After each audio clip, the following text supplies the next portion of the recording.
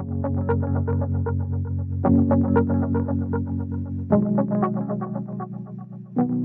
right, we're on step six.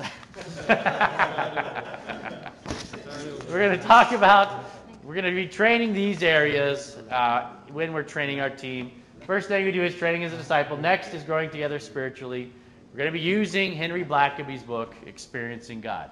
So this is a workbook. I like it because not only are they able to talk about a fantastic book together, but I can see if they're doing their homework. Because we're in a group, and I usually meet in a house. I love to be overcrowded. I want, I love to take them into my living room, and I'm not rich. I don't have a giant house. And I love 50 people packed in a living room that normally would seat five or six. I love it, where they're like, you know, sitting on the sides of chairs and they're just on the floor. It is it, it gives such a sense of movement when you have that packed of a room. And if your team gets too big for your house or wherever you decide to do it, you know, a, a core team member's house, um, then do it two days a week if you can afford to do that. You know, I know you got busy schedules, but uh, and then split the group in two. I've never had to do that, but you you could get to that point. Um, so anyway, we've got the team. We're training them. We're going through the workbook. I can see if they've done their homework. If they haven't done their homework, I'm taking note. And I usually have somebody else in the group who's on the other side of me. So I'll be on this side of the room. I have kind of a, a helper on the other side who's kind of looking at those books, and they're making note. If somebody doesn't do their homework, I'm just going to call, not accusatory. I want to see how their week's been going, because maybe something bad's happened. You know, things happen to people, and they don't even tell you. Parents die, or you know, horrible things happen, and they don't even let you know. So I want to make sure I'm in touch with them. But if they're just sloughing off, I'm going to make sure to reinvigorate them, or if they get to the point where they just can't handle anymore, we'll move them to the different level, and I'll talk about that different level in another step. Um, but anyway, so these are the people that are committed to this church happening. And so we also talked about leadership training. This to me is vital. We do not do this. We do not do this in church near enough. Um, we train people how to do ministry, but we don't train people how to lead people. And this is really important. And I'm not talking about leading people in ministry. I'm talking about how do you actually lead? How are you a leader? And so, um, what we do is I spend a good amount of time. Now, this is more natural for me because I have a background in leadership. But if you don't know this, there are so many good books you can use that'll help you train your team. Any one of these things you can find resources to help you train a team in these areas. You know, um, I think I have time. Yeah, I've got time. When I was when I became an Adventist, um, I was a teenager, and none of my family. I mean, they all got baptized with me, but they didn't really want to stick with the church. My dad dropped out the day after he was baptized. Um, he said he just wanted to be baptized. He didn't want to be baptized an Adventist. Um, and then my mom and brother dropped out. So I was going to church on my bicycle. It was 10 miles each way. You know, 10 miles from my house, and this is in Colorado. I'd ride my bicycle in the rain, and the snow, to church and back.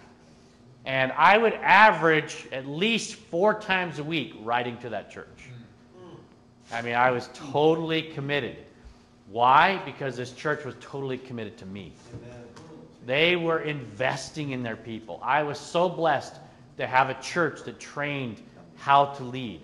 The very first thing they did was make me a leader in Pathfinders. I was a junior, whatever they call them. I don't remember what it's called anymore. Um, but uh, a junior counselor or something. And and I was leading things like how to, we, you know, they said, we want you to lead the uh, marching stuff. We're going to do a big camporee. I don't, I don't, I wasn't raised in Adventist, so this language is still a little foreign to me. Um, but uh, we're gonna, we want you to lead the marching in a camporee. And I just came up with wild, crazy stuff. I mapped it out on paper, and they're like, this isn't normal marching. And I was like, that's okay, let's try it anyway. We won first place for our marching because it was just wild, crazy. And they just, they let me do it. You know, most churches are like, wait, that's not how we do things. You know? But they, they put me in charge and they let me be in charge. They, they, they helped me teach youth Sabbath school. I had to teach. All of our youth had to rotate and learn how to teach.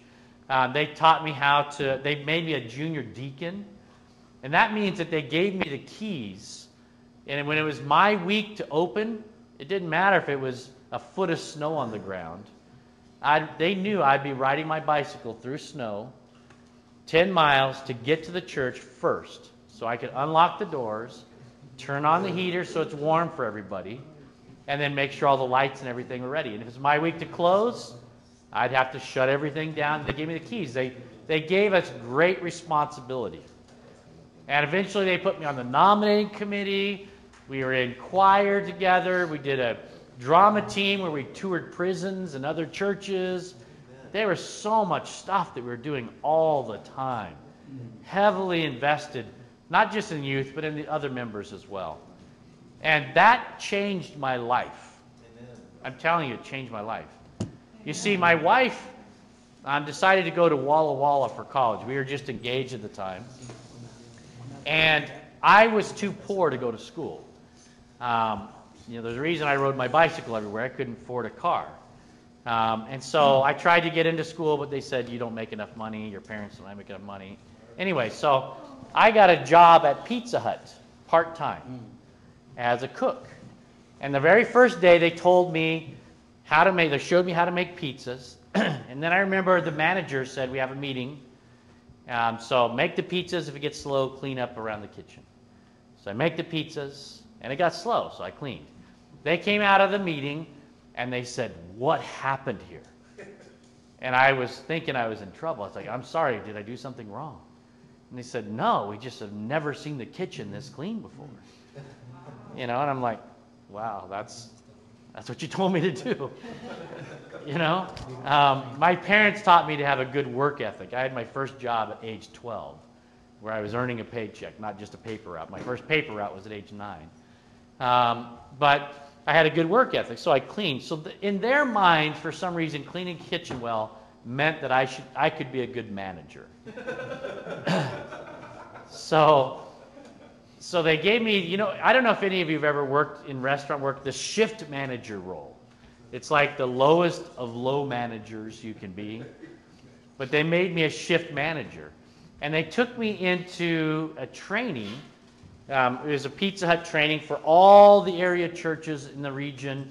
Um, and we all got together for three days of intensive training of how to be a shift manager. And so there's a lot of good training going on, but they also started looking at us as leaders, and they picked the five most outstanding leaders by the second day that they saw. And I was one of them, fortunately. And so now I had a team that I was running, about a team of 10.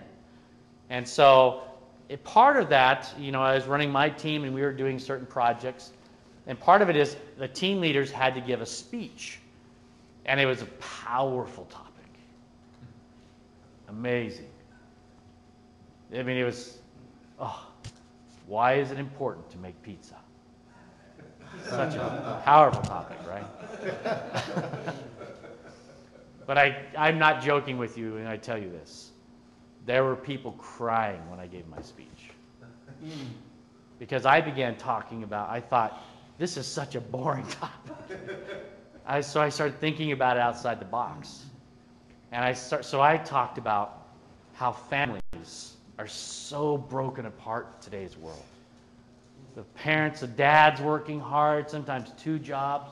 The mom is working. Kids come home to empty houses. Everybody's so disconnected. They're doing homework. And they come into your restaurant with the hope that they can recapture some of that family joy again some of that love that they have for one another. And when they sit down at your table, you are helping them reconnect as a family. You're not just serving them a pizza, you're serving them joy and life and hope. And people were like crying. And, and at the end, they had at the end they had an award for the most inspirational leader, and I won that. And they gave they, they my wife, who was my fiance at the time, came to pick me up. It was in a different city where the training was. And the owner came up to her and said, Who is this guy? Because I was 22 at the time, maybe 21 in that range. And, uh, and she goes, What do you mean? He's, she's like, How does a guy this age know how to lead like this? And this is the reason for the story. She said, His church taught him. That, it, it really makes a difference. Amen. Mm. When we invest in our people, then they invest in the world and have a much greater impact in the world. It changes lives. Mm. They quickly made me a manager, and our store became the fastest growing store in the nation my first year as a as manager. Won some big award, I don't remember. I didn't care at that time. I was so young, I didn't care. I was just having fun. And, and I, I just did things outside the box, like, like I was taught in church and like my parents taught me. You know, the first thing I did is I went to the sporting goods or the sports arenas and they were serving horrible food. And I said, What if I start bringing pizza to you? And every event you could sell pizza, you'd make as much profit as you're making now, and you'd have much better food. and they're like, Yeah, we like that. So we were rushing pizzas to sporting events. Then I went to the schools and I said, The pizza that you serve these kids is horrible. It's just this cheese, plain stuff. What if we started bringing you different kinds of pizzas? It's not going to cost you much more because you're going to save labor. So that, and I showed them the cost analysis on it. And pretty soon, the high schools and the junior highs, we were serving them every day, bringing pizza for their lunches. And so our sales just skyrocketed. And so then they made me the manager, the highest level manager you could be in in that in that franchise. It was a franchise, except for the owners. And so then I was running all the regions. And my primary job, you know what my primary job was? I was a restaurant planter. Seriously. I would go into areas, learn about a community, decide where we needed to best put a location. I would train a team before we ever opened. So make sure that when we had our grand opening, it was amazing. Everything was running well. God knows what He's doing, doesn't He? He put me in the right church that taught me how to lead. Then He put me in, in a pizza place that taught me how to plant. And then He brought me back into a church that, yeah, I mean, it's amazing. So train your people how to lead. It's so important. Also, you've learned about the community. So start talking and training about how to impact this community. What are we going to do for this community. Very important. We also train about running the vital ministries. Now, this is this is also very important. I train everybody in my core team how to run all the ministries that are vital to a church. Amen. Not just the greeter is going to learn about greeting, the children ministry is going to learn about children's ministry. No. I train them all how to run them all. Why do I do that? Because I anticipate that when I leave to plant another church, some of them are going to be running this one, and others we're going to be sending out to plant new churches as well. It's always with multiplication in mind, and I tell them that. And this is exactly, actually, I learned this from Pizza Hut too. One of the reasons I got promoted so quickly in Pizza Hut is because when I first started as a manager, they told me, your, your most important job is to replace yourself. Right. And they, and they said, you need to train people to do what you do. I took them dead serious. I didn't know that they were speaking, you know, just sounding, you know, sound bites. I, I took it seriously. So every one of my dishwashers knew how to make pizza, answer the phone, write a schedule, wait tables, you know, run the cash register. My cash register people knew how to do all those things, including dishwashing. Everybody knew how to do everything. And I was training so many leaders that they began taking all of my leaders and making them managers of all the other restaurants around. So almost half of the restaurants around were run by people I had trained. And so that with our sales increase is why they said, man, we're going to make you the top level manager for the, for the region. Um, and so these things are, are really important, not just in business, but really important in the church. We need to be multipliers. And that's why we also do this. While I'm planting, I'm explaining, like I am to you, but even in greater detail to them, why are we doing this step now? How does this relate to church planting? What are we going to be doing next, and why are we going to be doing that? I want them to be expert church planters by the time we launch this church. It's something that's vital. When we get to step 10, you'll understand more about that as well. So these are the things that I'm training on every single week. Now, a, a typical meeting will look like this. Let's say we choose Tuesday nights. Um, we will get together um, and have maybe at 6.30 or whatever time works best in that region, and we'll have a potluck dinner together. And we teach people how to make something if they keep bringing junk. Um, you know, if they keep bringing chips or something, um, we just ask them, you know, is it tough to cook ahead of time? You know, what's going on? Because we want to have a nice meal. And, and people are like, well, it's so hard to do this. I'm like, if you go home tonight and make a meal, you're going to have to make your, your salad and your sides and your main dish. You're going to have to do all that. We're just asking you to bring one thing. And we'll teach you how to make something that tastes good and you can make in 10 minutes. You know, if they don't know how to cook. You know, how to you make a salad fast. You know, it's easy.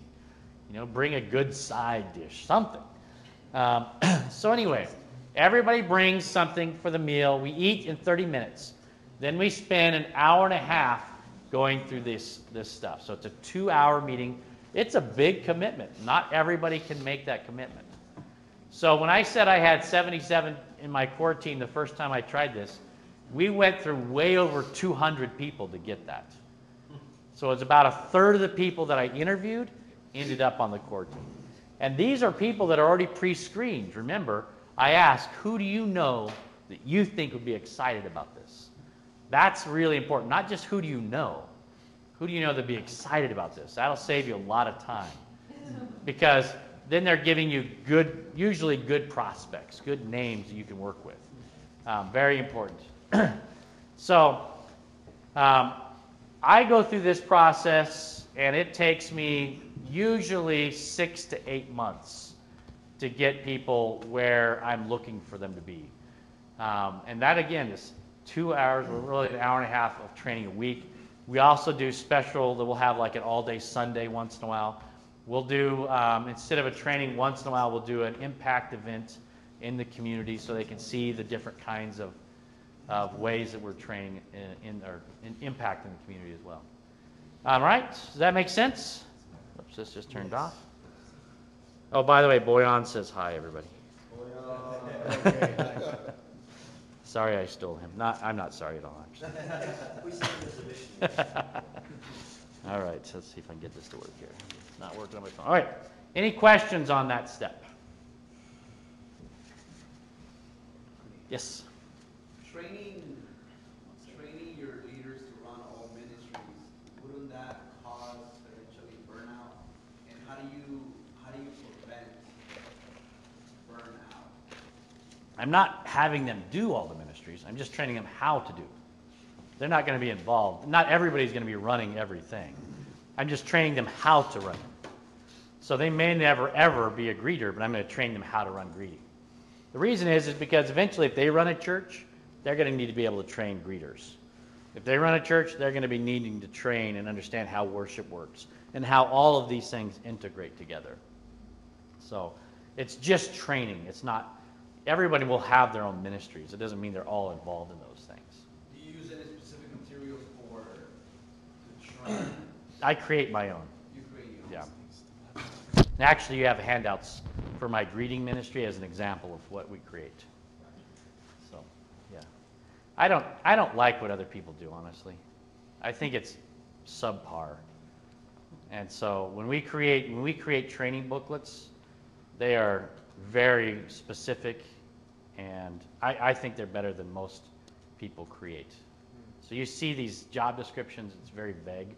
I want them to know exactly what they're going to be doing. So, yeah. How do you manage the shifting dynamic as new people enter the core team partway through question. the training? The reason we start this, we don't, we don't, um, we don't start the training until we hit about 10 to 12 people. That's when I start the training. But it doesn't take me long to get to my goal. Usually I'll be done in a month because I'm doing tons of interviews and I'm training other key leaders I think are good to do interviews too. So I'm not doing it all. And so within a month, I'm at my, my level, what I'm looking for. It's not that I won't still interview people. I might do a few more if they're really good. Um, but uh, and then if those that come in later, I will do a, um, a training for them individually, just to catch them up. Yeah. So it's not, it's not too difficult though. But I don't usually try and throw somebody in a core team meeting, you know, four months after we start Okay, training. that's, yeah, that helps Yeah. answer. Because they might, they might Really mess that up the, first- That first month. they might mess up the culture. You got to remind that one thing you got to remind your core team all the time. The core team ends at launch day. There is no such thing as a core team after we launch. Okay. Because some of these people think that they are core after the church starts. Insider's secret club. Yeah, it's not. Illuminati. You are just helping us build the culture. Yeah. As you move forward, do do you typically use them as your board members, though, or not always, or some of them, or none of it ever? I mean, how is that? Usually my board comes from that, but I, I don't want to freak you guys out. We don't, we don't have a board. Well, whatever you call it, Right, people right. that are kind of, Yeah, we have a ministries leadership team. Yeah. sure, whatever you call it, Yeah, but you, you make it clear that it's not a guarantee after yeah. this. And, Okay. and I tell people how boring it is to be on that team. That, and seriously, we are, we, we invert the pyramid for reals, not pretend. So my job, I tell them always, my job is to make you a success. And those who are on ministry leadership teams, their job isn't to be in the spotlight. Their job is to make other people successful. And so if you're if you're being in, in the spotlight, then you're in the wrong role. So, and we only meet like seven times a year for about 45 minutes. It's very you don't need it because our ministries are the ones that run the show. We'll talk about that a little bit in the next. Yeah, yeah. What, what do you call the, not board meeting, but what is it called? A ministry leadership team. Ministry leadership. Yeah. So key ministry, I don't want to get, I don't have time to go into. We design our church in a fractal system where every key ministry is broken down into its key components, and we have leaders trained in each one of those components. The person who is over that team is on the ministry leadership team. And so it's a very small group. We usually have six or seven people total. I don't understand how boards can run with 20 people. It doesn't make any sense to me. Yeah, it just makes no sense. Yeah, yes, and then yes. Jumping back to that question about people trickling in as the core team trainings are taking place, do you kind of water down those first few sessions to make them? No. You, you start with everything you've got, and then you do side sessions Yeah. individually. But again, you only have an hour and a half, so, and that's a lot of stuff to cover, six, six I know. areas. So you're Yeah. only spending, you know, 10 to 15 minutes on an area. Okay, are you doing all six in every meeting? All, basically? every meeting I do, all six. Okay. Unless I'm doing like a impact project instead or something. Okay. Yeah. Yeah, and then I, where's the other, there's another one over here. Right here, right here. Here it is. Well, I know that you start you know, with this uh, kind of training uh, consistently, and w- where in the training you introduce, you know, um, Bible study and stuff like that, so that people. That's a side thing. If they're not an Adventist, they'll usually come to me. I don't even talk to them about it. Honestly, this, this is my philosophy, and I know that people find this hard to believe. I don't think about that at all. It doesn't cross my mind because I know that the Holy Spirit is going to work in their life, and they're going to ask me. That happens all the time. It- and I have people, I have people my core team, I assume they're all Adventists, unless I know they're not. I just assume they are. And I've been shocked. When we have our first evangelistic series three months after we open, I am shocked that some of the people say, I want to be baptized. I, I think, I thought you were an Adventist. I had no idea. Um, so I don't think the same way. I mean, that may be wrong or right. I just don't think in those terms. Um, if they want, if I think of them as, you know, critical pieces of, my, our team and part of God's body, they're planting an Adventist church. They know it. And if they're not Adventists, they will be. Eventually, they will come to us. It's the same thing when you're working with people who are far from Christ. All you have to do is just be their friend. Build a relationship. Don't press Bible studies. Because the Holy Spirit will, will do something in their life to make them come ask you. It happens all the time. You want to grab a mic? Do you have, um, do you have elders or, or people who, who execute that function? And what do you call them? We call them ministry team leaders. Okay. Same people. And then, do you have evangelism series or evangelistic Yes. series? At least once a year, maybe twice. How do you do those? Um, I don't have time to go into that. That's, I have a full cycle. I'll give you a very brief rundown. We have eight different kinds of evangelism that we do three times a year. So we have a cycle. Every two weeks, we're doing another type of evangelism. And so that cycles through. It's a 16 week cycle. It cycles through into a reaping meeting, cycles through into a reaping meeting. But sometimes at the end, we don't do a reaping meeting, we do some other kind of meeting. Um, anyway, it's, it's so complex. I have an exact a whole day training on just that. Um, but we do do reaping meetings. I am very pro traditional evangelism if you do it right. If you do it wrong, it's useless. And the reason why so many people don't do evangelism today is because they're doing it wrong. They're thinking that it, a meeting is the answer. The meeting isn't the answer, it's the end of a long process. It's actually the middle of a long process. And if you don't do the beginning process, the meeting itself is just, it's worthless. Well, I shouldn't say worthless, but it's fairly, fairly worthless. Um, and it's tough, yeah. All right, so let's get into your groups. You will see that you have a full list of stuff here. So you have nine minutes to answer all of those questions. So you need to hurry. It's called step six. Okay. I don't know why it's working like that. Okay. talking about the building core team. Okay, now number six. Um, so you're you're you're going to be talking about how this would help your church if you did it, and how it doesn't help if you don't do it. What will happen if you don't do it? So number six, teach them how to plant future churches. How is that beneficial, and how, or how it would hurt if you didn't do it?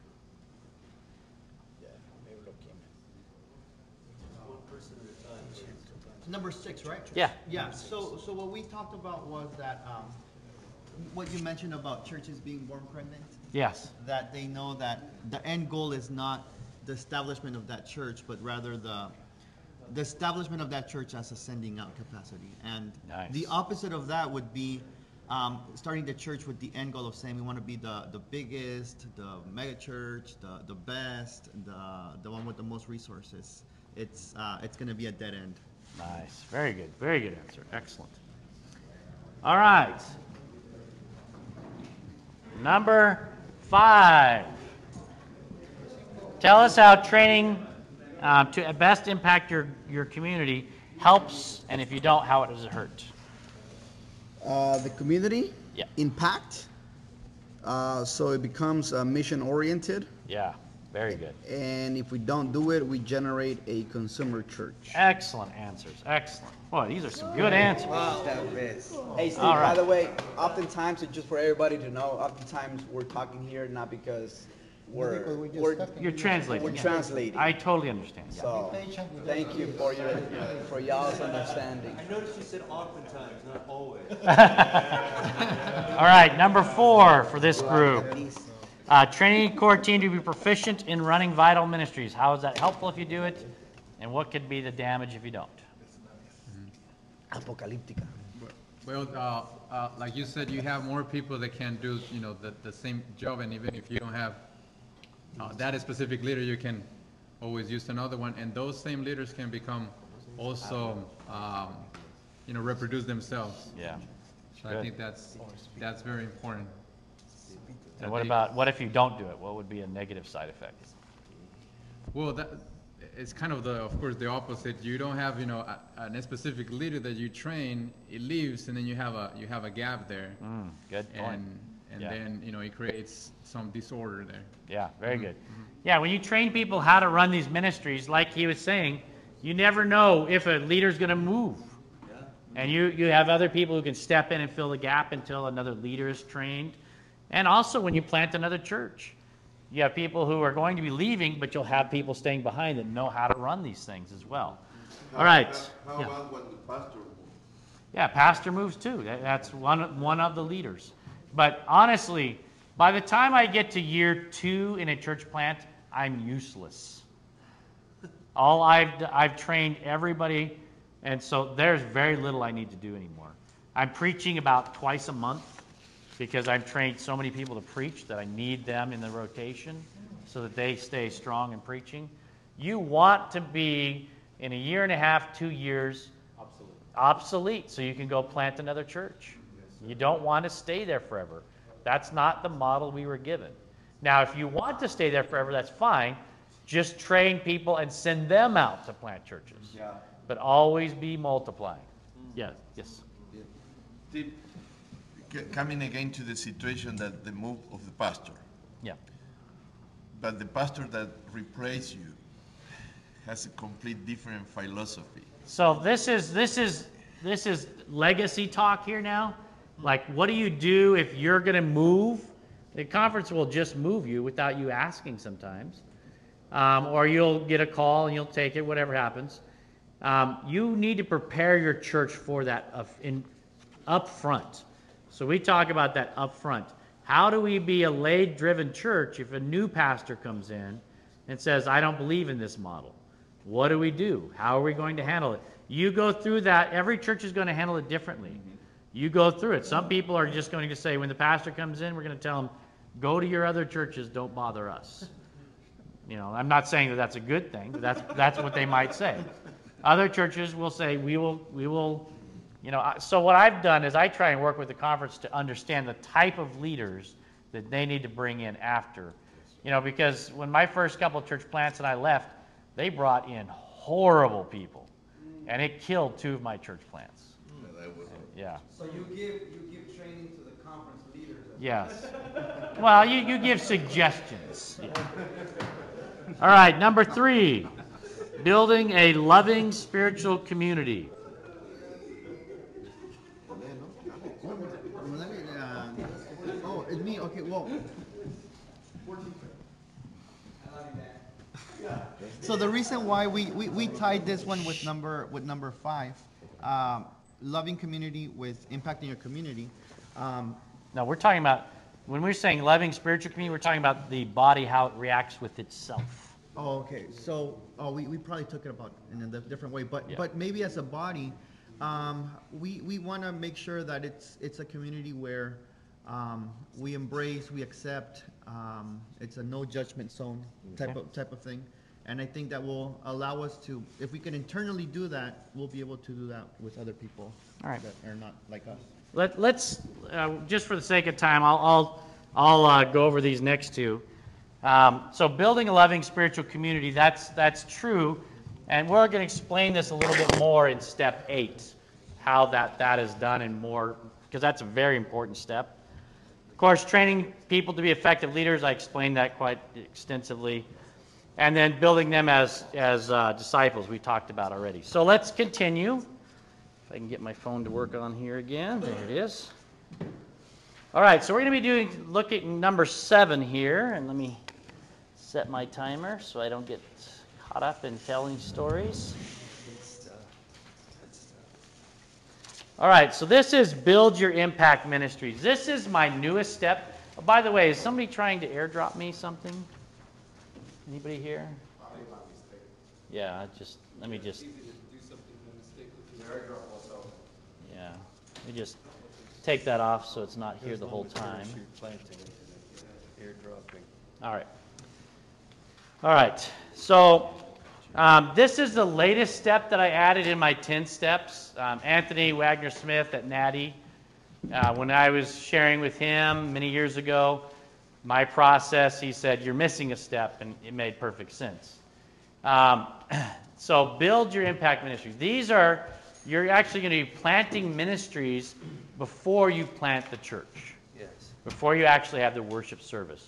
You're going to start um, developing uh, ministries in your community that will impact the community. So you know the needs of the community. You know what type of ministries you should, by this time, know what type of ministries will be effective at helping the community and also serving your church. So I can't tell you what those, those are. Those ministries are different for every church. Now, there's some that are common for every church as well. So we're going to go through the common ones, and there'll be others that you you would have as well. So, but you want to make sure that they're running well before your grand opening. Let's go back to Pizza Hut when I was Pizza Hut planting. When I started Pizza Huts, do you think on the opening day I hired a team and then we are having our grand opening. That morning, I gather my team and I say, All right, uh, why, why, don't you be a cook? Why don't you answer phones? Why don't you be deliver driver? Why, why don't you uh, run the register? You know, would that make sense to just just throw jobs out? I mean, how effective would that be? It'd be horrible. And so when I was running those restaurants, we created what we call star teams. And I would highly, highly train several individuals. We bring in five individuals from around the region that I had trained that they were the best trainers in each of these areas. And when I opened a new restaurant, we would hire a staff, and then myself and the STAR team would train the staff, and I mean, we trained them.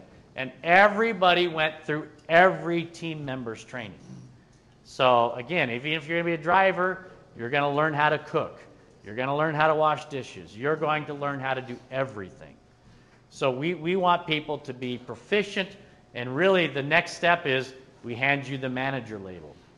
Um, we want people to know what they're doing. And when we do that, then when we have the grand opening, there's not all these flaws that you see a lot of businesses and churches have. Um, so we're doing the same thing. We want to make sure that our ministries are running well before we open. So one of the ministries is worship. Worship is one of the biggest failures in the Adventist church. Um, if you look at, and this isn't just my saying this, there is lots of data about this. Many churches have taken um, the assessment tests that we have, and worship and small groups are the failures big time in, in Adventist churches. And this is not by pastor standards, this is what the members are saying. They're saying that worship is not engaging. Um, we need to make sure that worship is engaging. And it doesn't matter if it's contemporary, blended, uh, more traditional, it needs to be done right. It needs to be done well.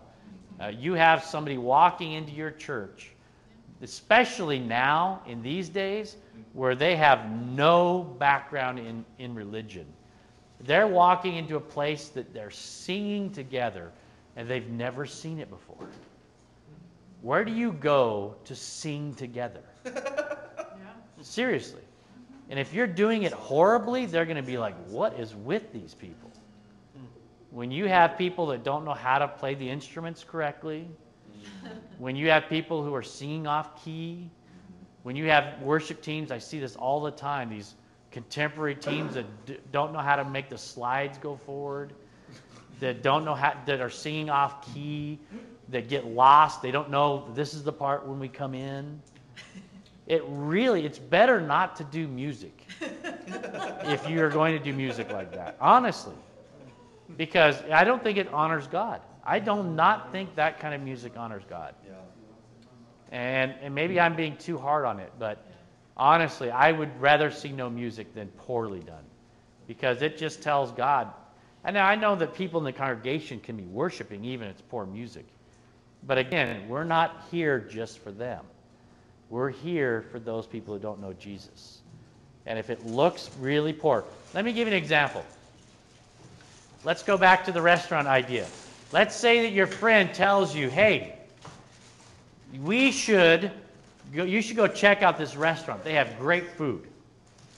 And so you walk into the restaurant, you're all excited because your friend said this has great food. You walk in and you say, I'm going to go to the bathroom before I get seated. You walk into the bathroom and there's a bug crawling across the counter. There's paper towels on the floor. It smells horrible and it's filthy. What are you going to do? You're going to leave. You don't want to eat at a place. The food might be great, the kitchen might be clean, but that created a major roadblock for you right away because you saw something done so poorly in that business. They didn't take care of the bathroom. And, and so that's the same type of thing. We create roadblocks in our churches when we don't do our ministries correctly. And so worship is one of those that we have not done well in the Adventist church. We take it for granted that people are worshiping. And it is becoming much more of just a habit, a tradition, than actual worship. This is the question that I, I resonate so much with when it, the question is asked Do you meet God in church? Do you meet God in church? I mean, if we are coming to worship God together, shouldn't God actually be there too? Shouldn't people actually have an encounter with God, however they encounter God themselves? And it could be in, in silent prayer, it doesn't have to be in worship. But we have to do things that are done in a way that there's actually an opportunity for Adventists to worship because when Adventists are worshiping, those who don't know God, they get excited. People who don't know God love to see people actually worshiping. Yeah. It really is a statement to them that there is something real and vibrant happening in their relationship with God.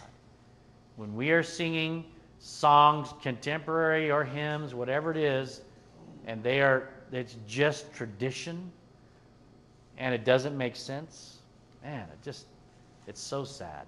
It's so sad. Again, it'd be better just to get up and start preaching day, second one than to start doing that stuff, unless your preaching's horrible. so, better not be. yeah, it better not be. Don't punt on preaching. There's three things you have to do right.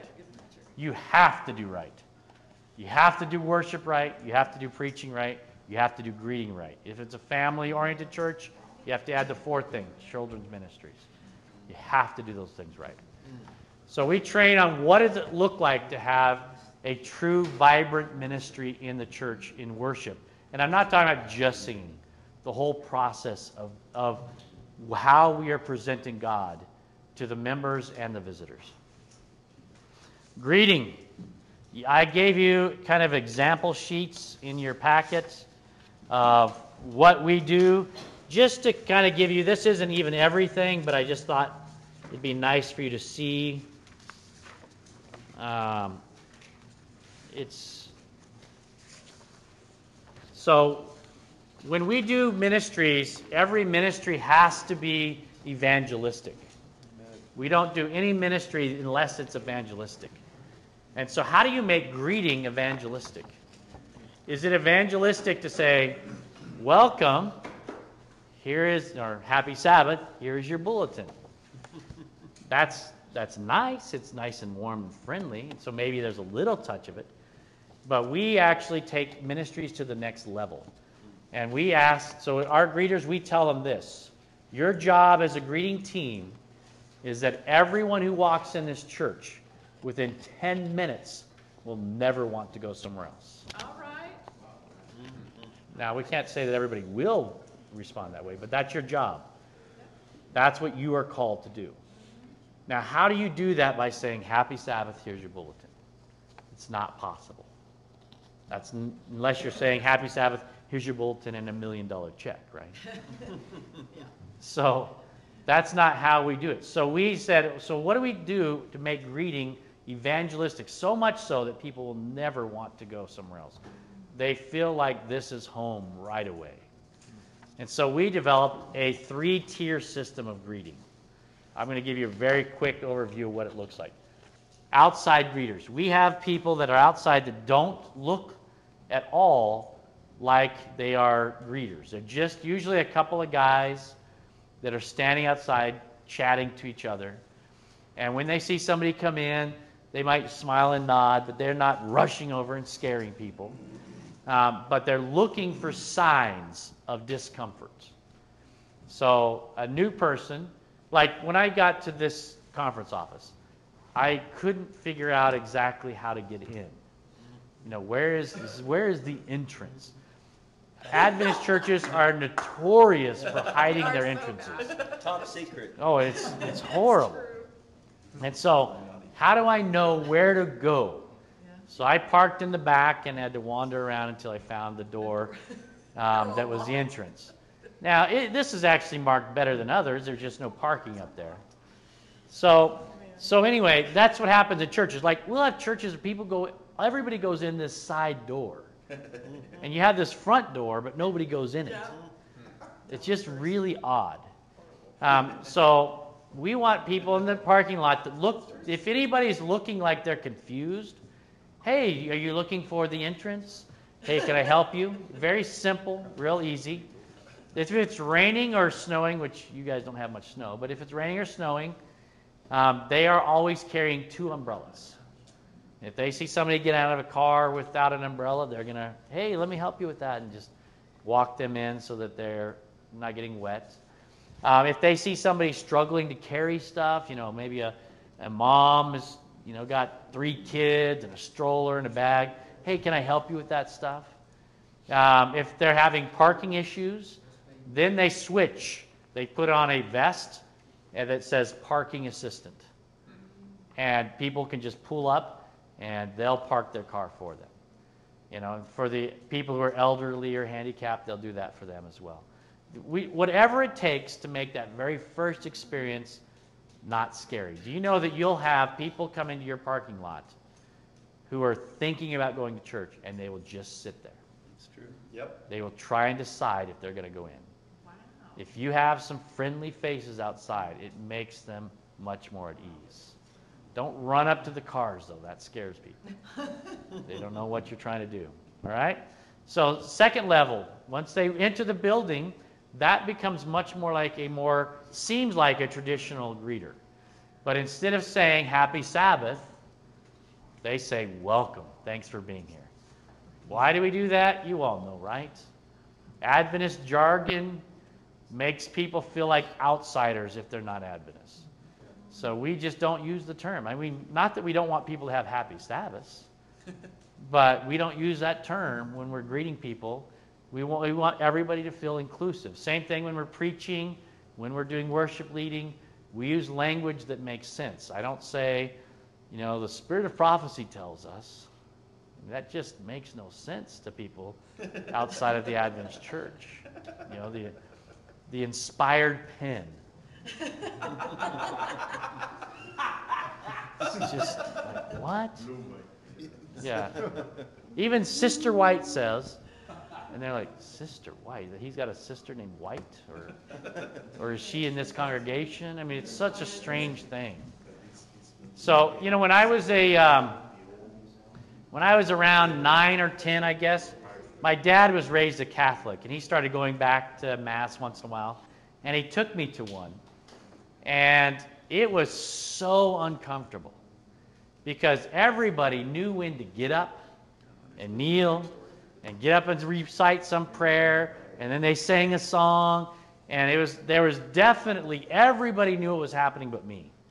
And I was totally confused. I kept looking at them like, how do they know what's going on? I was looking for, like, is it in a program? Is it? Nowhere. It didn't show anywhere that you're supposed to do this stuff. And yet we go into our Adventist churches and they're doing the same types of things.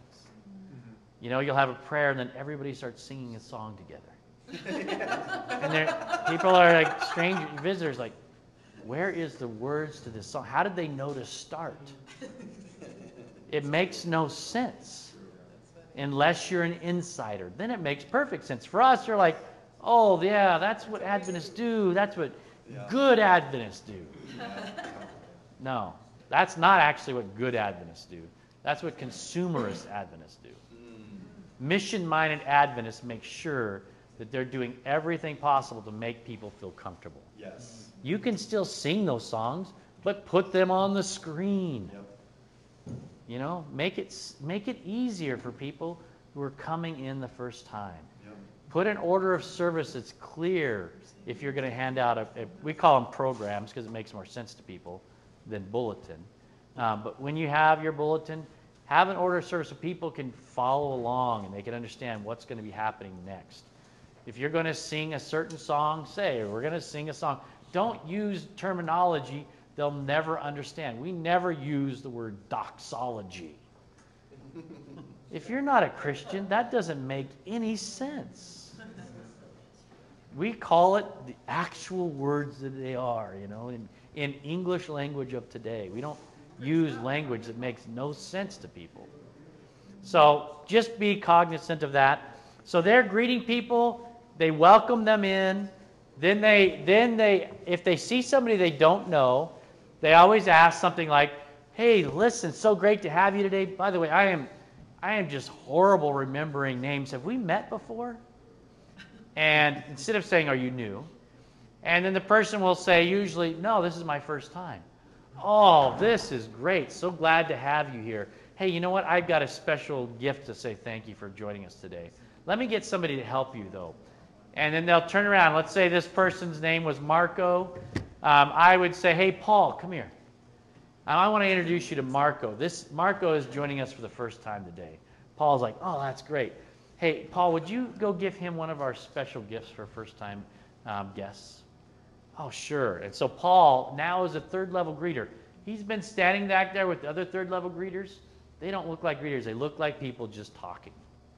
And we want that. We want people who are happy and fun, not grumpy, um, to be greeters. We also want to have a diversity of people that reflect the diversity of our community. I get really tired of going into communities uh, or to churches where all the greeters look exactly the same or the exact same age and they don't represent the community at all. It just doesn't make sense to me. So, anyway, Paul then, his job is to evaluate, and we teach IQ, or, or I'm sorry, EQ uh, to our greeters, so he, he can read body language. Um, and he knows how Marco is responding to his, because some people are very introverted, they don't want somebody helping them. Um, so he will do very quick job with a strong introvert or somebody who's uncomfortable. But typically, what it looks like is he's giving them a gift. As soon as he gives the gift and, and the, it touches their hand, this is all planned out and practiced many times. As soon as that gift touches his hand, the hand, he would say, Marco, by the way, we want to be able to serve you even more than just today. Would you mind registering, um, uh, putting your, your information here? And you let them put what information they want. So we have an iPad, and they type in whatever they want. We ask for their name, their address, their phone number, and their email. Um, if they don't put their email, um, that's usually the trickiest thing. We like the email if we can get that. And so we actually ask for that right after the name name, email, then phone number and address. That's the order we ask it. Um, but if they don't, they don't. That's okay. They don't have to put anything they don't want to. Then what Paul would say is, is Hey, Marco, are you meeting anyone here today? No, I'm not.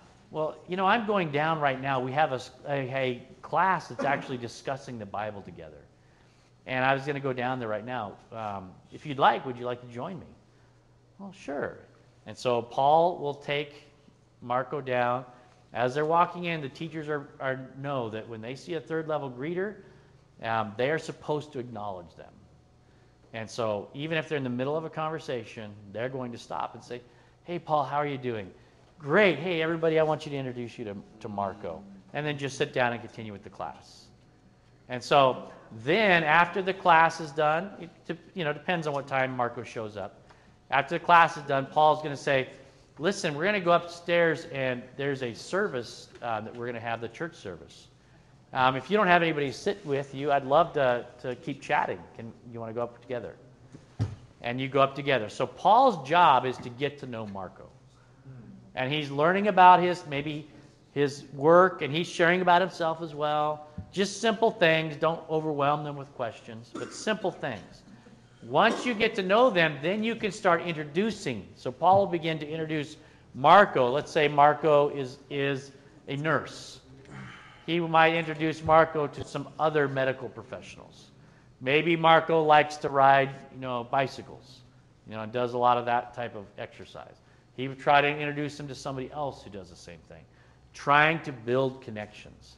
Paul is now Marco's person. And every time Marco comes in, Paul is watching for Marco. And he just, so there's a process that we use. Um, and we can't go into it because I'm running out of time. But anyway, so we create, we create um, visual representation of how things go.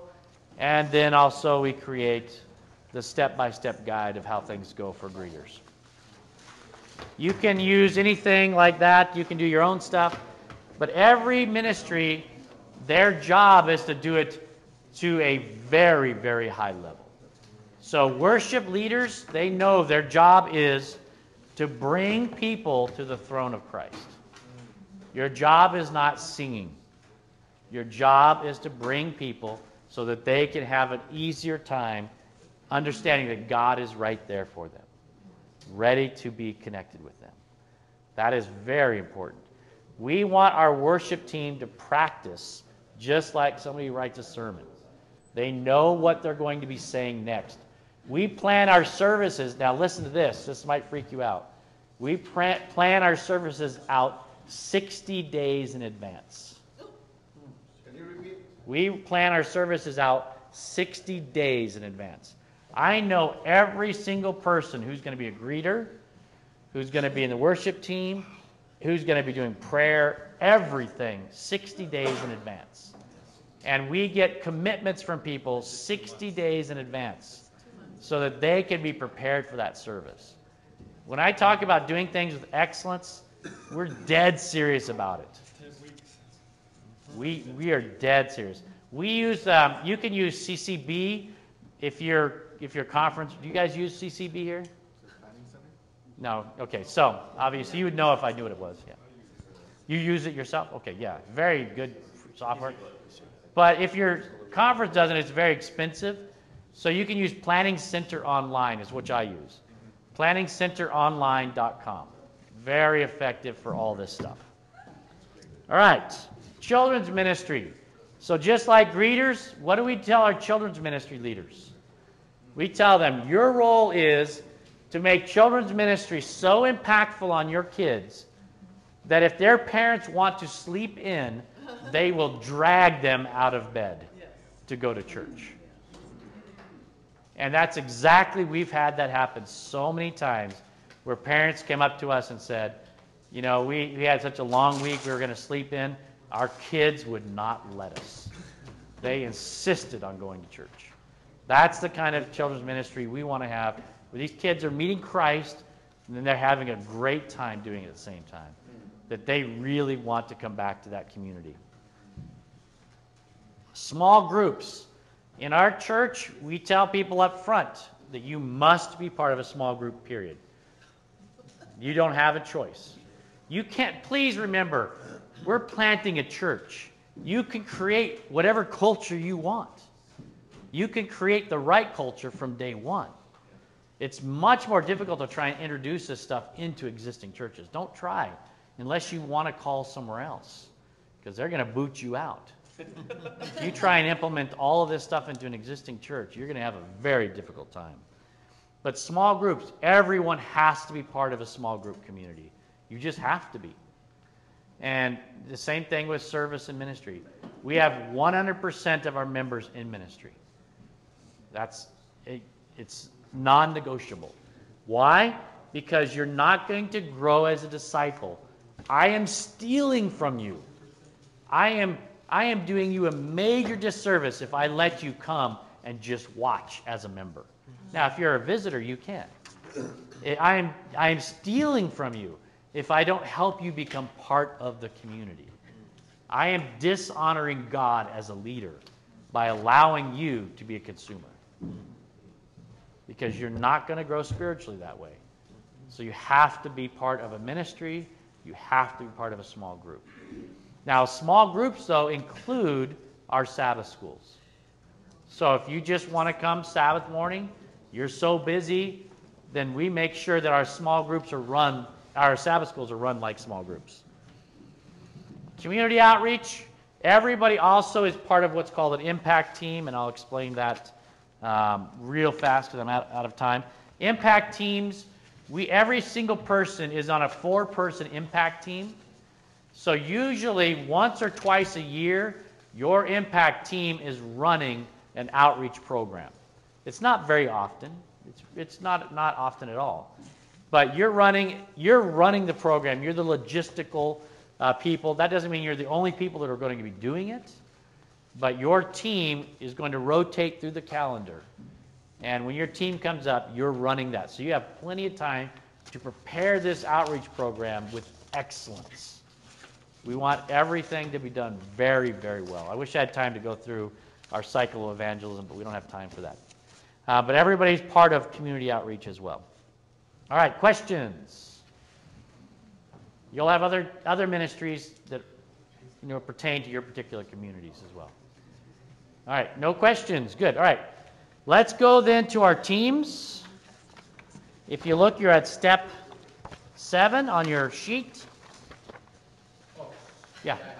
Okay, grab your little mic thing.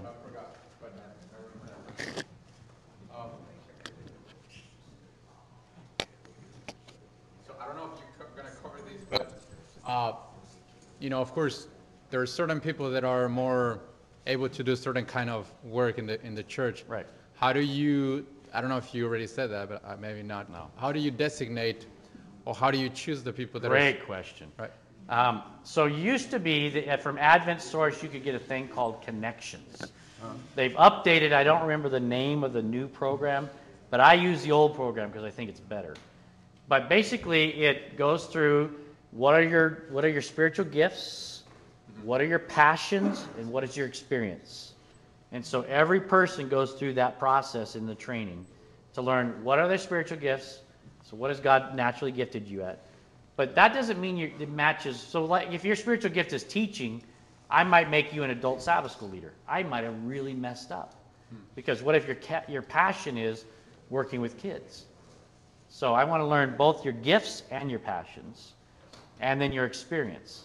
You know, maybe you're a full-time teacher, and you're passionate for kids, and you have the gift of teaching. Well, that's a no-brainer. That's an easy one. Most of them are not that easy. So what we do is we help them then we, we, have, we have a ministry placement team.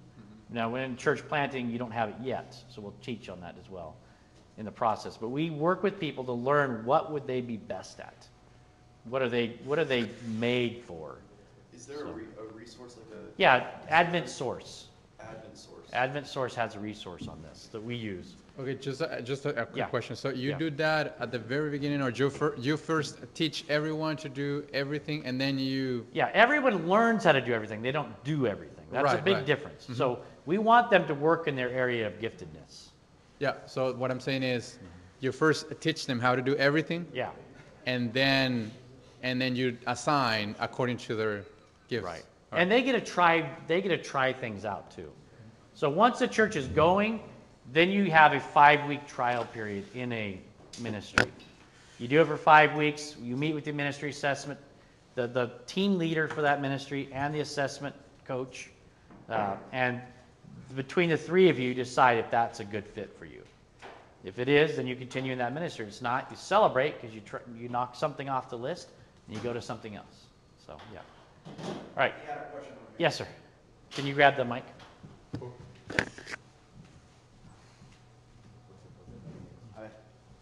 Uh, ¿Cuál Cuando hablamos de grupos pequeños, ¿qué tipo de grupos pequeños son los que utilizaría en una iglesia recién plantada? We, when we talk about small groups, what kind of groups are we talking about when we're planting a small church?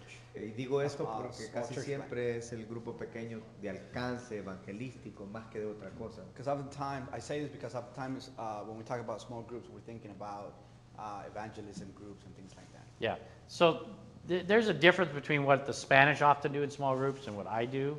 And actually, what I do is a lot different than most Adventist churches do. Um, we do, and I don't have time to train you in this because this is a full day training too. But the way we do small groups is called free market small groups. And free market small groups are the leaders are trained how to lead, but they can do anything they want. They can have recreational groups, they can have Bible study groups, they can study Ellen White book, they can do a cooking class, they can do whatever they want.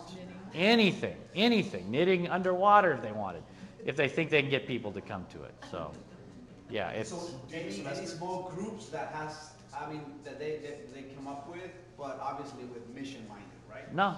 Not really? The mission is to build relationship. Now the leaders are trained how to be missionaries in the groups. Okay. So, yeah. I'm sorry, I'm going to run out of time. Semester system or no? Semester system only. We only do, we are small groups, start at the same time, end at the same time. These are powerful. I wish I could train you on this. Our small group system, the first time I did this was in my third church plant. We had 140 people attending church. When we launched the system, we had 27 small groups. The first, they all started at the same time. We had 240 attending our groups. So there was 100, 100 more people in groups than in our church. And in six months, we grew that church from 140 to 277. A lot of it was because of the small group connections. So you're building, it's an evangelistic, even if you're doing a hiking group, it's evangelistic. Because you are building friendships, and friendships are the fastest way to bring people into the church. All right, so let's get into our teams. You're in step seven. You only have seven minutes for this one, so do it quickly. We are now on step eight. This step is called the five month pre launch process. Oh, yeah. So um, this one is um, once your core team gets to the size that you want. So you've begun training them maybe when they're around 10, 12 people. You continue to grow your team. And once you get your team to the size that you want, they're, they're coming to the training, they're seeming to get it, and you, you think about five months in the future, the training will be done. Um, so you're going to create a calendar or look at a calendar, and you're going to say, okay, so in five months from this date, we're going to have our grand opening service. Yeah. You continue training during this. Yeah, you train through the entire process, so don't don't stop that. So, let's say, whoops, not that one, this one. Let's say you're looking at this calendar, and today is this day, and you say in five months we'll be ready to launch. So you set your grand opening date. And then we'll have a process that you follow over those five months. It includes your weekly core team training meetings. That still happens. About this time is when I tell my core team, when we get ready to start this five month pre launch, this is when you drop all of your current ministries at whatever church you might be part of. If you have Adventists or regular attenders in leading ministries, they need to be prepared to release those ministries by this time. Because now you're going to be asking them to do stuff twice a week. And people will come up with excuses. I'm too busy at church to do this too.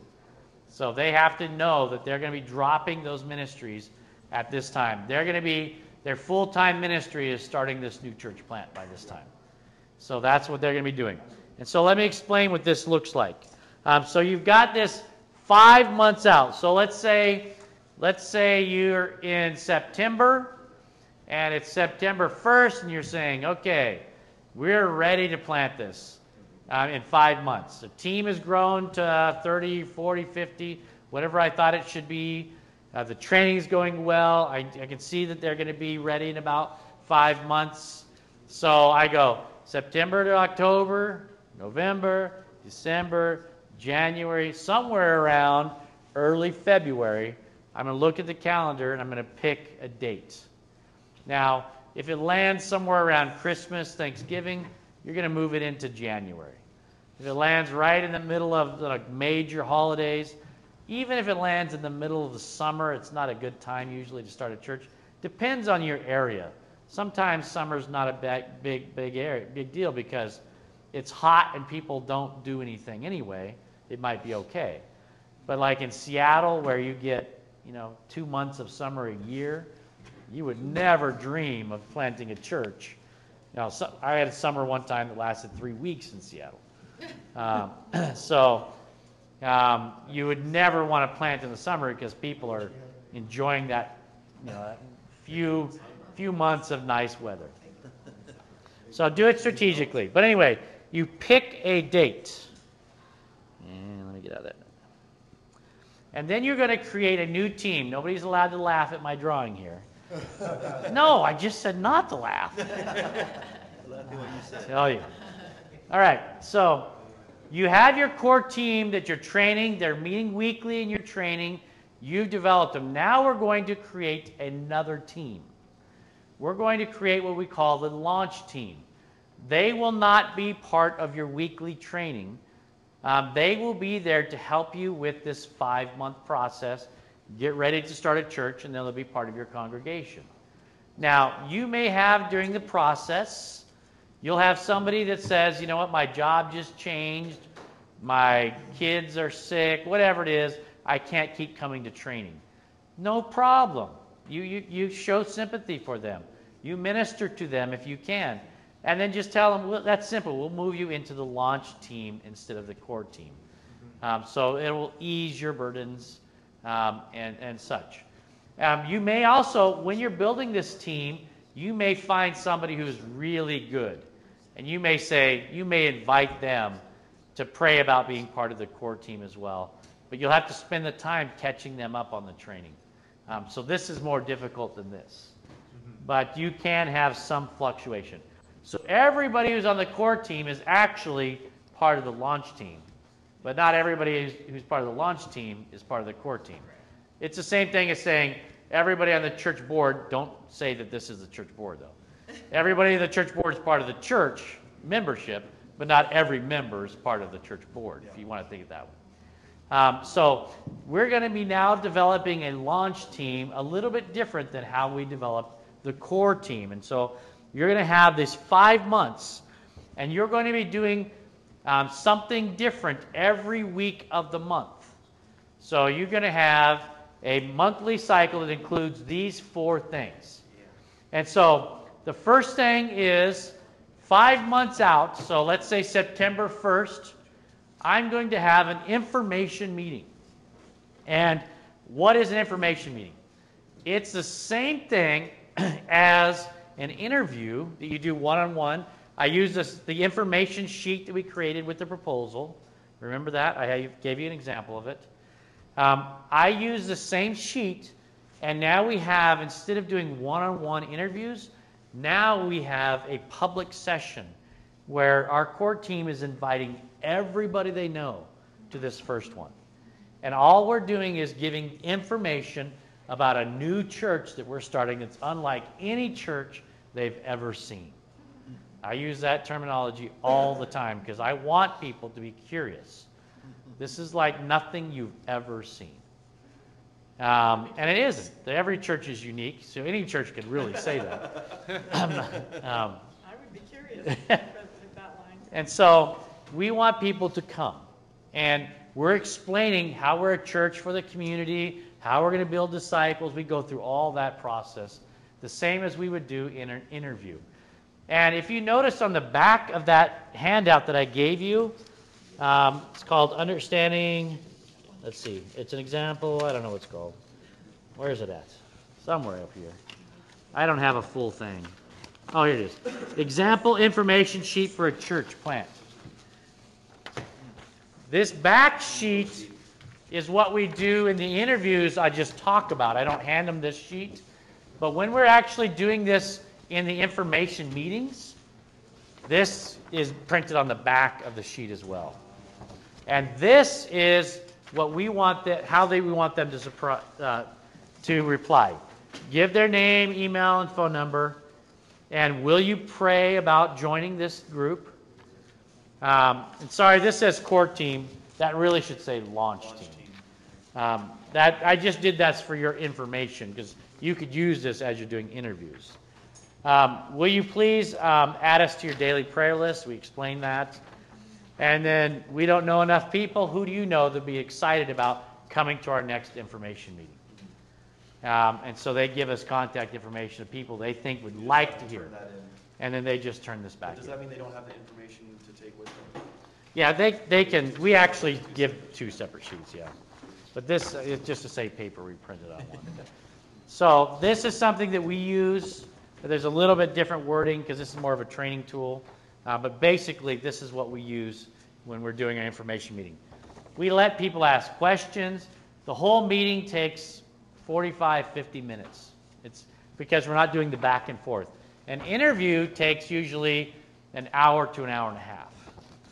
Um, but when we're not asking a lot of questions, then it doesn't take that long. So it's just kind of getting it out there, letting people know what's coming. And those people who join then are becoming part of the launch team. And we explain those that join, we're going to be doing a weekly meeting, and we want you to help us with the logistics of those um, as much as you can. And so at the end of the meeting, we give everybody 10 really nicely made invitation cards. And we say this we, we are going to do a social next week. We're not going to pretend it's a church service and, and hide it inside a social. It's just going to be fun. And so we want you to invite everybody you know, it doesn't matter if they're religious or not. Um, and we give everybody these invitation cards. We're going to meet next week. We're going to be at this park or this house or this venue or whatever we're going to be doing. And we're going to meet at this time. We're going to have food. We're going to have fun. It'll, the information will be on that information or on the invitation card. And then as you're going out, you'll see a table with more invitation cards. If you need more than 10, feel free to grab some more.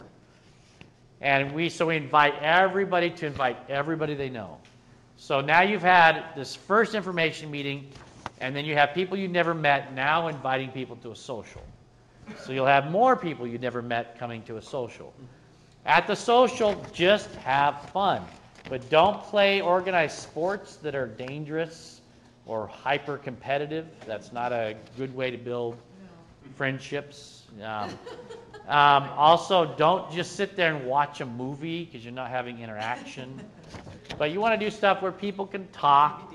You know, we've done barbecues if it's nice. You know, we have fake meat and real meat. And, you know, we do, you know, little games. You know, simple games.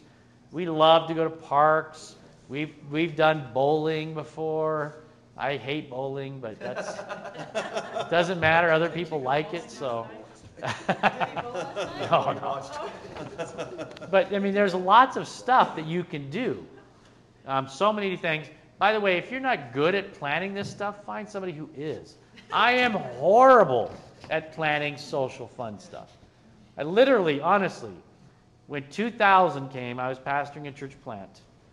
When we had we had a a um, party at our church, we rented our church and had a party at New Year's Eve that I planned. Everyone left by 10. Seriously, I am horrible at this. So, yeah. so anyway, find somebody who knows what they're doing. I never planned parties after that. So I learned my lesson. That was last millennium. All right, so um, when you have the social, then somewhere in the middle of the social, you get up and you just have somebody. If you can't do this, if you're not the cheerleader type, then have somebody who knows how to do it. But get up. Is everybody having a great time? Yay! Um, You know, and if it's that kind of party, if you're doing like game, board game day, you know, that doesn't quite fit in that kind of. A, but uh, you know, just get get people, you know, get some feedback, have some good time, and then then say, hey, guess what we're planning on doing? What? We're gonna have another social in two weeks with free food, and everybody's like, yay! And you give everybody ten invitations to the social that's coming up in ten in two weeks, and you say, listen, we want this to be huge. Let's make this thing go viral. Invite your friends, give out the invitations, invite them on, on Instagram, whatever it is. But bring, let's bring people and have a great time. Oh, and by the way, we're going to do something else next week for anybody who's interested. A bunch of us who are organizing this today, we decided we're going to serve the community in a unique way. We're going to be planting a brand new church, but it's not like churchy church. It is a church that serves people. And because you're going to have a lot of un, non-religious people there at your socials. So you got to be make sure you're very clear what you're doing um, and break down stereotypes. We just want to help the community and make the community into a family for us. And so we're deciding that next week we're going to practice this and see what it might look like. But we need feedback. We need people to come and tell us, are we doing it right? So we're going to give you some more invitations, and you give everybody 10 invitations and to next week's practice of this new type of church. Um, it's like, and we even put like a church, like uh, um, unlike any church you've ever seen um, on, on the invitation. And so we want your feedback. And so the reason at the socials we give invitations to both the the church practice and the social is because a lot of people will not come to a church service even if you're trying to make it sound good. And so if you don't invite them to the next social, you'll never see them again. So you got to make sure you're inviting the people at socials to the next social. And so at the practice service the next week, don't do it on Sabbath morning. Do it, you can do it in the venue that might be renting, which is fine if you can get it that early. But all you're doing is practicing like a Friday night or Thursday night or Sunday morning. I don't care when you do it because it's just practice. And what you're doing is you're actually shortening an actual service. So you're going to have your greeting teams. This is the first time that your greeting teams actually get to practice being greeters.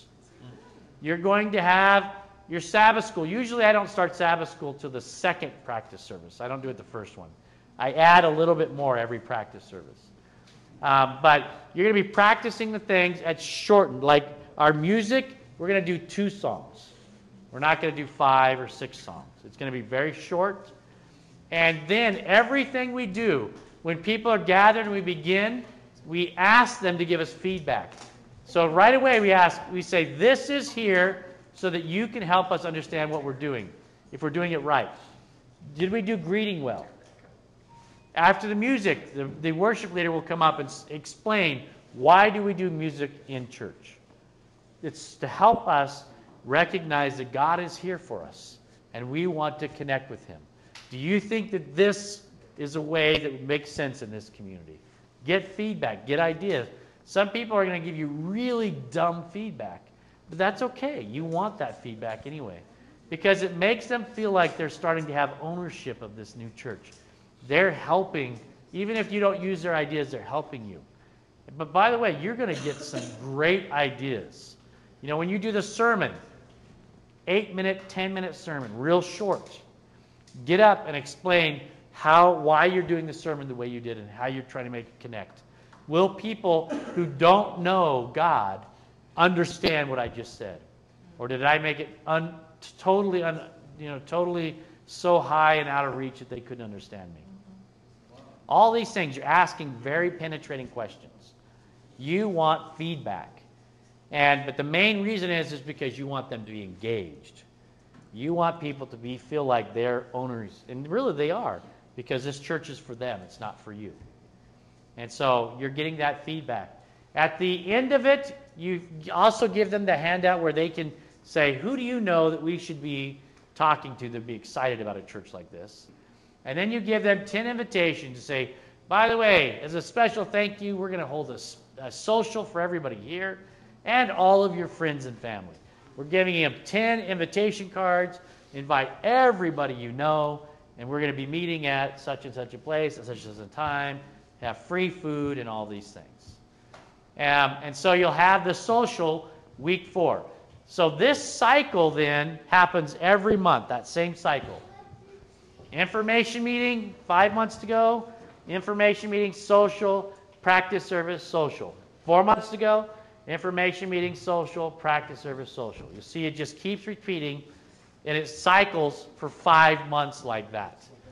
So you're doing this, and people keep inviting people that you've never met. And so your circle grows and grows and grows, and your launch team expands. If you do this well, your church, when it launches, will be three times larger than if you didn't do this step. This one step will have that impact on your church. It is that important. So, um, and we've had churches try and cut corners. Like, you notice, what does we do more than anything else? Socials. You see that? Socials are twice as much as everything. Why do you think we do so many socials? Don't you answer because you've heard this. Whoever's not heard this before. Yeah, we're trying to build relationships. This is what happens in church planting. If you don't build relationships with your core team and your launch team, once you launch and it becomes that weekly grind of doing church like you normally do, people begin to leave. Because they haven't developed relationships in the new church, they drift back to the relationships in the churches they were in before. So you lose a lot of key leaders that way. You don't lose new not new Adventists, but you'll lose key leaders often that were Adventists. Plus, you're you're developing a spiritual family, and of course, you're, there's a lot of things that socials do. It helps you connect with people far from Christ. So, does this make sense? This process? Now, things change a little bit right here. When you get to the last three practice services, oh, sorry, sorry, one, two, three. You notice that that last social, we do practice service, practice service, and then the next week, grand opening. We do these three practice services, they're identical. We are practicing the grand opening service. Those three, I'm not inviting comments about. We're not looking for comments anymore. We get comments on these, these three practice services, but now we know how to run the service, and we are practicing for our grand opening. The comments that we get are from people who are part of the team already. We should tweak this, and you can make tweaks for the next week. We should, but we're not looking for general comments. Yeah, Um, you don't, you say no practice worship services on Sabbath morning. but these we do. Okay, so when does that, The last three. okay. The last three, basically, you're doing Sabbath morning, Sabbath morning, Sabbath morning at your venue. People have already, now they have left their church. They are part of this church officially. You know, we start get, doing giving right away. When we start doing our meetings, we ask people to start giving to the church right away. Um, so, practice service, practice service, practice service. We do everything exactly like we're going to do on our grand opening. This is a, this is just like a business, like my restaurants. We practiced before we had an opening. We had people who would call in, like, I want a pizza delivered to this hotel. And they would time everything. Could we get this done? We gave away free pizza coupons to lots of people in the community.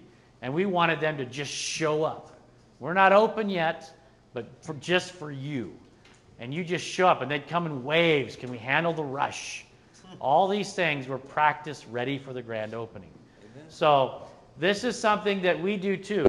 We practice these three times exactly what we're going to do on grand opening. And our next step, I'll tell you why that is so important. I'm not going to tell you why yet, all right? Again, when you do this right, this will at minimum triple the, the number of people you have at your grand opening, and it'll greatly expand the number of people helping you in that launch team. All right? So, any questions on this? Man. Oh, I can't. I think it was one, two, three. Okay. Why not Sabbath morning? Okay, you got your. first? The, Why- the, why the not do first the three. practice- The practice worship service is the first Because a lot of people are Sabbath still morning? connected to their churches. Okay. Yeah. So When do you do them? So- Sunday? Sunday morning, Friday night, Thursday, it's, it's basically just practicing. But you can do it Sabbath morning if you, if you, like, if I had a church plant that I had no Adventists, um, so it was no problem doing Saturday morning then, but, yeah. The practice service sounds like it's really short because everything's super shortened, so. It's about the same length because you're doing, you're getting feedback. Oh. i- After interaction, everything, intera- yeah. okay, Yeah. okay. And then the info meeting, is that just the core group? No. And for meeting, they they invite everybody they can so that you can share with the community what you're going to be doing. Oh, okay, so Yeah. in the, are you still having core meetings? at this time? Absolutely. And So separate- now core separate from teams, that? Yeah. core teams meeting twice a week now. Okay, For training, twice a week. that's why they stopped their ministries, whatever the ministries they're doing. They come to training once a week. Now, if you can't handle once a week, do training every other week. Just slow down the process. But don't slow, don't do this every week. This is very important, I mean, the five-month process. Yeah.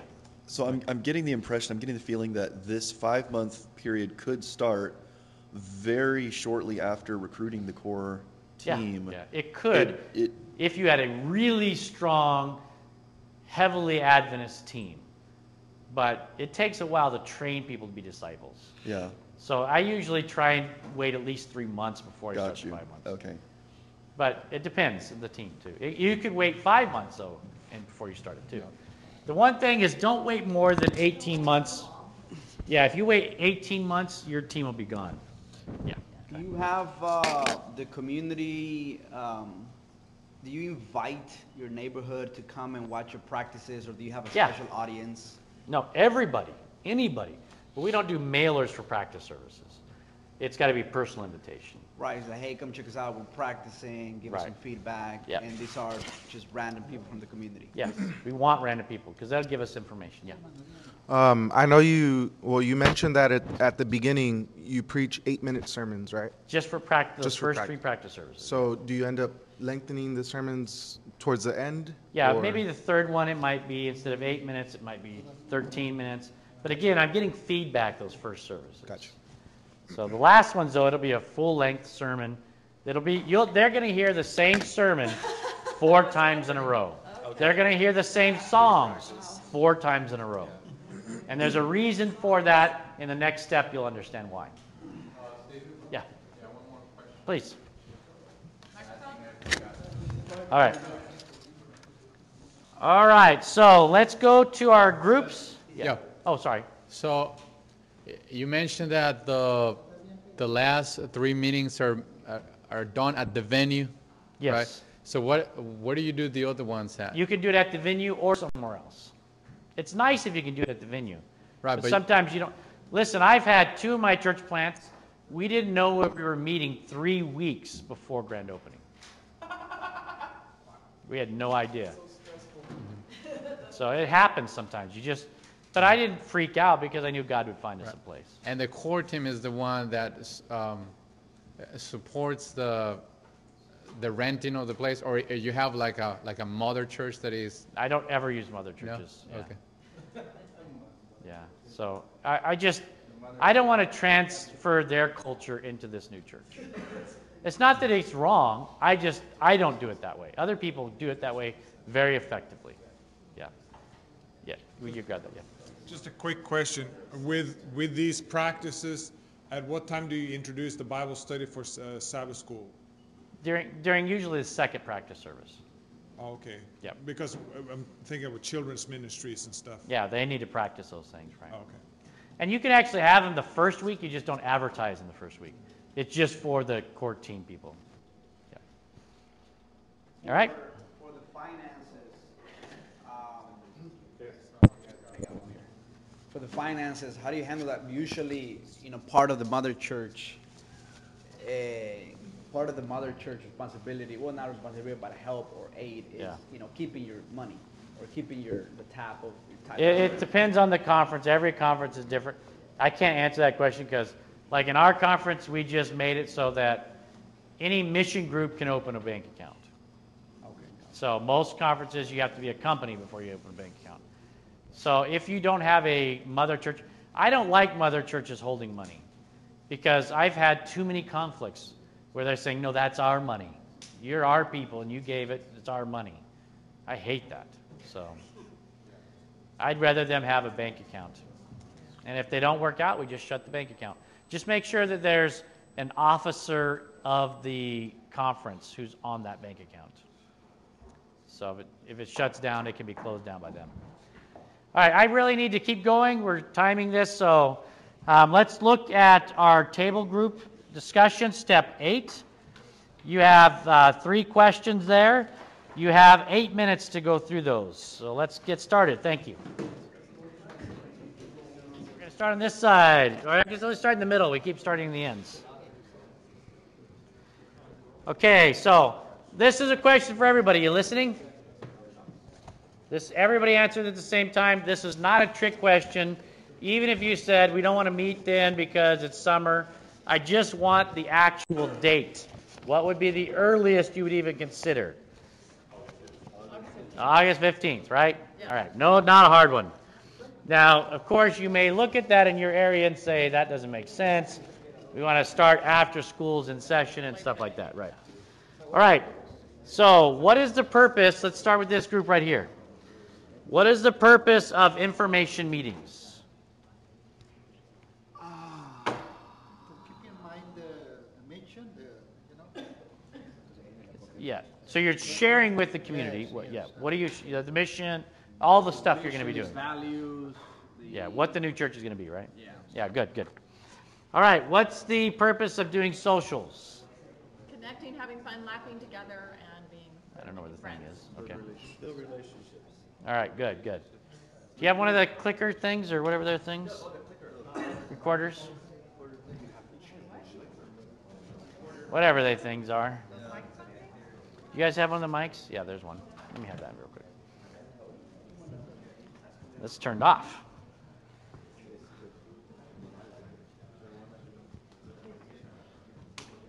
I don't know why it's blinking. Okay, there it goes.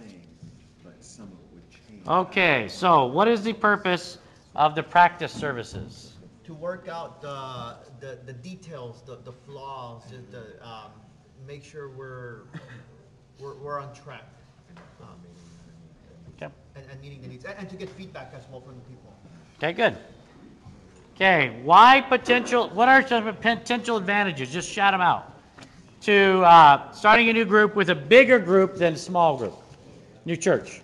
Bigger groups attract more people. Yeah, that is a big thing. Oh, man. Big groups attract people. You launch a church with a small group of people, it, and visitors come in, they think that there's no momentum, no excitement. They see a small group and they're not as excited. That's a big reason why to start larger. What other reasons? Less burnout. Less burnout because you got more people to help and you're able to, yeah. What else? Sorry? They have more friends to invite. Okay, yeah, yeah, yeah. You have a bigger reach, right? You got more people, you're reaching more people. What other reasons might there be? Diversity is a strength. There'll be more points of connection. Oh, with yeah. other people. Yeah, good. Diversity is strength. Good. There's a lot of reasons why you want to start. For one of the one of the biggest reasons hasn't been mentioned yet.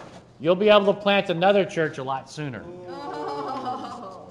Because if you start large, you you can quickly move towards planting again.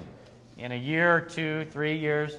When you start small, you're struggling. It takes a lot more time to build that church up large enough that you can send out a healthy team for the next church. Now, I am all for, once you plant a church, using that as a mother because you've already developed a healthy culture. The reason I don't usually use an existing church as a mother church is because they don't have the culture we're looking for. Now, once in a while, you find churches that are very healthy and they are good at sending churches. That's fine. You, that's, yeah. I just haven't run into those myself, so. But I'm sure they're out there. There's plenty of them. All right, so let's jump into uh, step number nine. Now, don't freak out, everybody. Please calm yourselves because now we're opening the church. Yeah, baby. Now, don't rush this.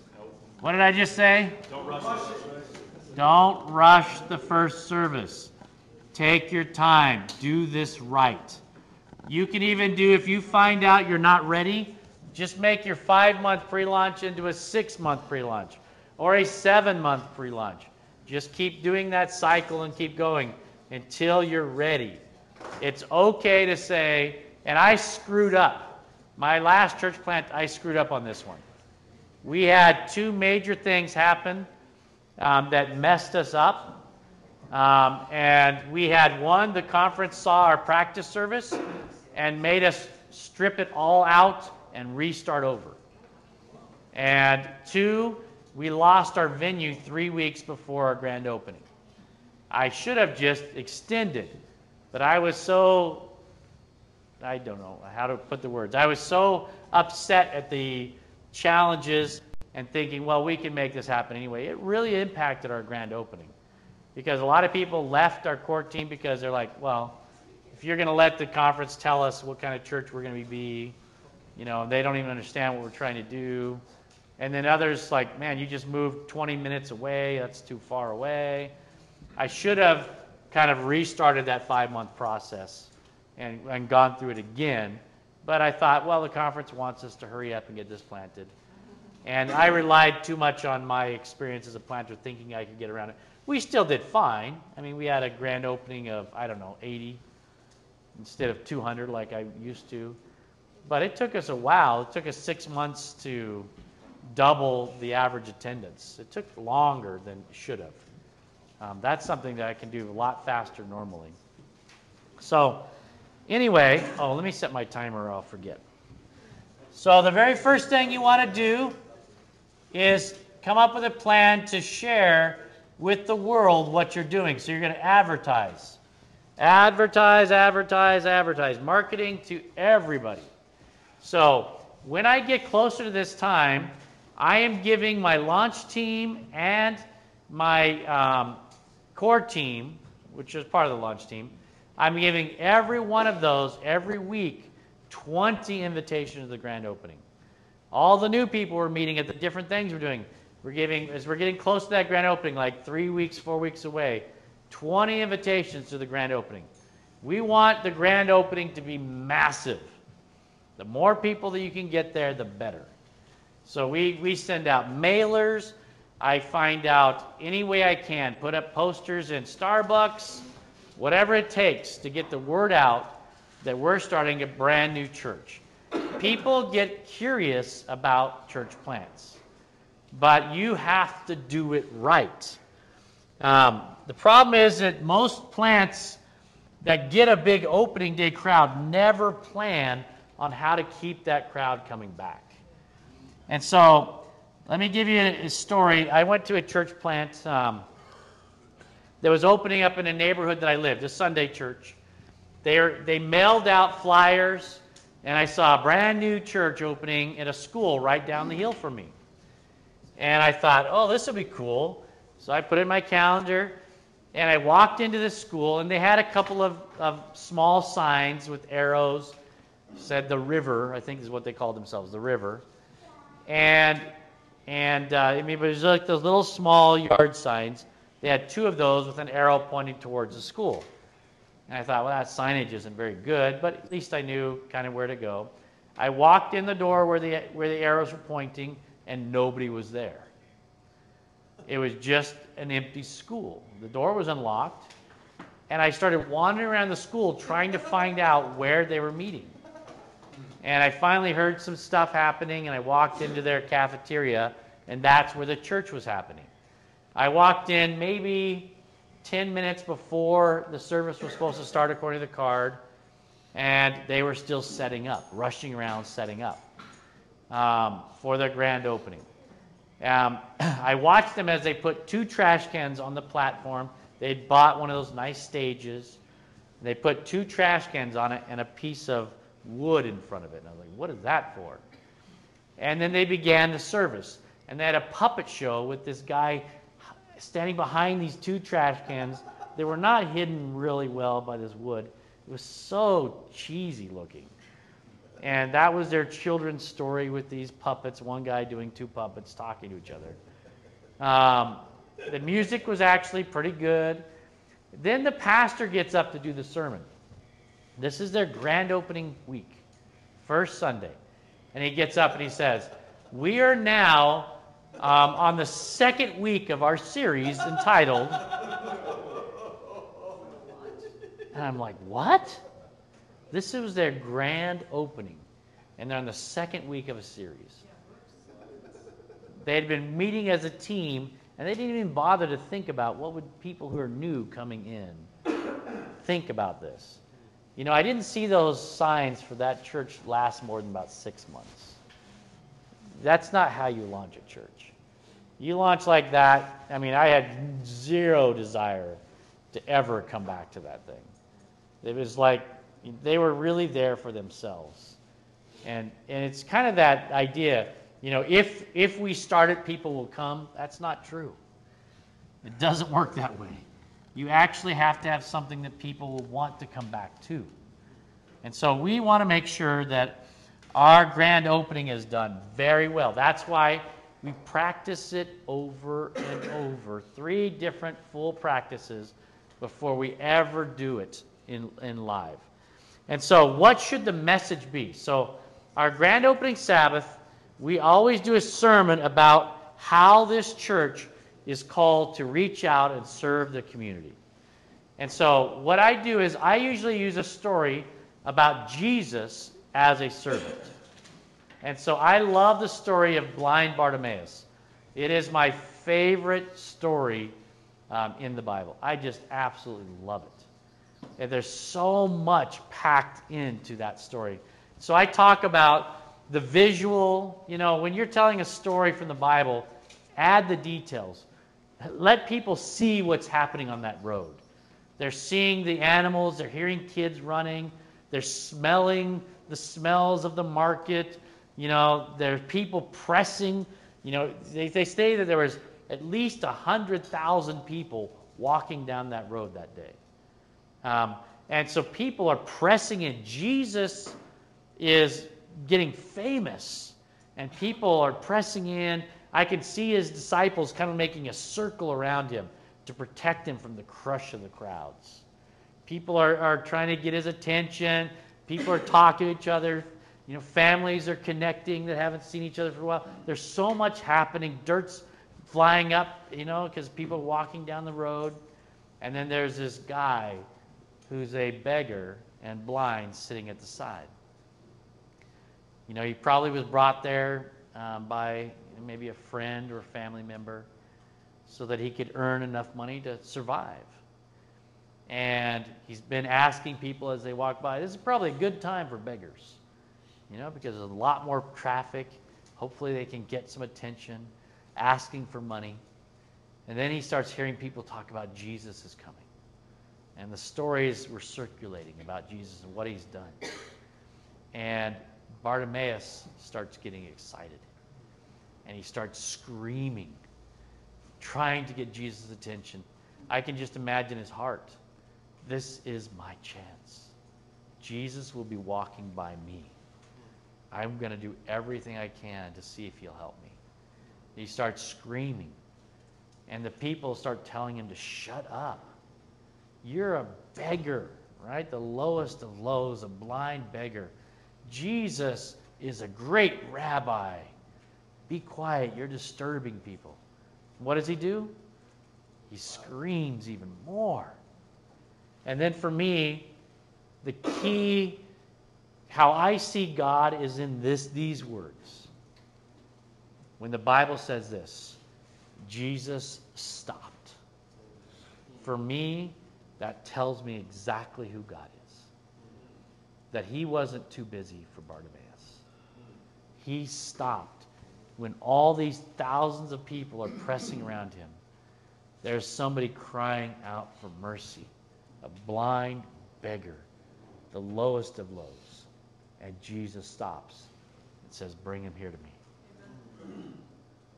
And then I tell people, this church has come to this community to stop. We are here to stop and listen to the needs of the people. People are crying out for mercy, for healing, for companionship, for whatever their needs are. And we are a church that will stop. And then we begin to explain about the key ministries in our church and how each of them will be stopping for this community, serving the people just as Jesus served blind Bartimaeus, reaching out and finding out what their needs are. And so we introduce each each ministry and let's say we're doing let's say we have five or six key ministries. We're going to have banners around the room. Let's say this is our church room. We'll have banners around the room and those banners will have the name of that ministry on it. And so if I introduce children's ministry and I start talking about, you know, not a long thing, but maybe two or three minutes of how we are going to be serving the families of, of this community and some of the broken things. Talk about the issues that families face in this community and ways that the children's ministries are going to help serve those needs. And I want to introduce you to somebody important today. I want to introduce you to Pam. Pam, would you stand up? And Pam stands up. And Pam is going to be the leader of um, our group of church, church ministry to children. And everybody give her a hand, say thank you, or wave, whatever your tradition is better. Um, and then Pam, silently, after I start talking about the next ministry, Pam goes and walks, and here's her banner that says Children's Ministry. She goes and stands next to it and just waits. And we talk about how each ministry is going to help serve the needs of the people, stop for the community as Jesus stopped for Bartimaeus. And introduce the leaders for each of the ministries, and they go and stand by them. Now, this is a complicated process. This is why we practice it three times. Um, so then, at the end, we have a closing that it's very short and succinct at the end. We don't do singing at the end. We have a very fast prayer at the end, no announcements. What we're doing is we're inviting people to get up and go to the different ministries. So we say something like, What would we like you to do as a birthday present? This is our birthday, our first, first service, brand new. And if you wouldn't mind as a birthday present, just go say thank you to one of these ministry leaders. They have something short that they want to share with you as well. And so when I say go, We've practiced with all of our core team members and all of our launch members. As soon as I say go, they go. So as soon as so let's do that right now. People start getting up and start walking in different directions to the different ministries. We do that because people are people that follow people. That's just a normal thing. You know, it's you're much more likely to get help if you're hurt if there's only one person witnessing it than if there's a crowd. Because people, when it's one person, they just act. But when it's a group of people, they begin to look at each other to see what everybody else is going to do. But what are they doing? They're looking at you to see what you're going to do. And so it takes a lot longer for people to react. Is that is that real? You, you know, are they really hurt? You know, who's going to help? And so the, the response time is much less, takes a lot longer, I should say, if you have a group of people watching than if it's just one person. So we want people are watch people, so people start getting up.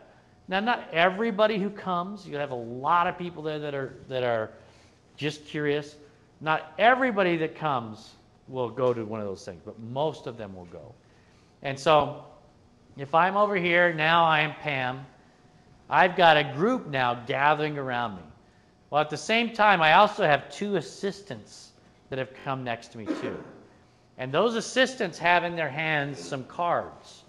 These cards are ministries that are very low level ministry cards. Um, they'll be they'll be very simple.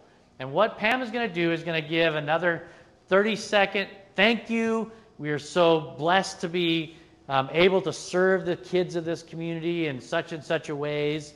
Um, but we've realized something. We can't do it. Everything you hear is only a dream because we don't have enough people to make it all happen. But if we work together, we can actually serve this, these kids and these families this way. So we have some very simple things that we're going to be doing that if we share the load, it will make a big impact. You know, we've learned that kids love to, to learn while they're doing stuff.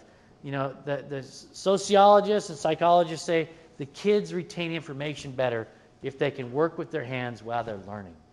And so we're going to be teaching while they're doing crafts and projects, but we need people, if we give them the materials, to just help us make those projects beforehand. So very simple. We give, give some people materials, you take them home, you build them and bring them back, and then the kids will have those ready to use. Um, so we just need, and then based on the size of the crowd, is how many people Pam is going to ask for. If it's a small crowd, she might ask for two or three helpers. If it's a huge crowd, she might ask for 10 helpers in this thing. And she says, but we need some people that can assist us in building crafts. Who, who is willing to help us with that? Now, we have people in the, in the crowd that are part of the core team and the launch team. If nobody raises their hands, then they're trained to do this. They count to two 1001, 1002. Nobody raised their hand yet. They go, they take a step forward and say, I'll help with their hand up. That gets the prime, you know, the pump primed, as they say. It gets other people to be willing to do it because what again is happening is they're all looking. Is anybody else going to do this? Is it okay for me to speak up? And so that, that's somebody who's ready to do that if nobody else says they'll help. Then other people say, oh, yeah, I can help with that too. Then the assistant has in their hands cards that say craft team leader or craft team assistant, whatever you want to call it. And it has a description of what's going on and, and the contact information for the leader. It's perforated. On the bottom, it says craft team leader and where they fill out their information. So the assistant will bring that card to you and hand you a pen and say, if you would, just fill out the bottom part for me. You get to keep the top part because it explains more, and then give it back to me. She's, she or he, who's the assistant, is being quiet and explaining that to you. And they're keeping an eye on who's getting these cards and make sure they're getting them back. While the leader is now talking about the next thing. Now, of course, with children's ministry, if you have any of those that are actually working with the kids, you explain that they have to go through whatever process your conference uses to screen kids, uh, screen for kids to be safe. But like craft team, they'll never, they don't have to do the crafts for the kids. They're just helping make them at their house. So very simple, low-level ministries. We're not asking people to run Sabbath schools, but just to help. What this does, and we did this by accident at one church, because we uh, didn't plan far enough in advance to get the team strong enough. And I said, why don't we just do it right after service and see what happens? We were shocked at how many people wanted to help build this new church that had no Christian background even. And so we then started intentionally doing this, and it really is effective. You get, you get, so we had a church that launched at 313 using all these processes that we talked about. Um, but they did miss two things. They didn't do the socials as many times as we told them to do. And then two, they didn't do the grand opening the way we said, we just showed you. N- people can do things on their own.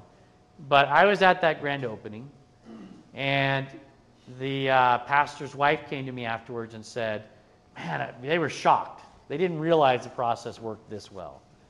And, you know, such a big crowd. And she said, What's going to happen next week, though? And I said, I don't know, but I can tell you what's going to happen next month. And she said, What? I said, You'll be down to 125 out of 313. And she said, What? And I said, Yeah, you'll be down to 125. No, they, had, they were at 312 opening day. Um, so a month later, I asked them how many they had. They had 112.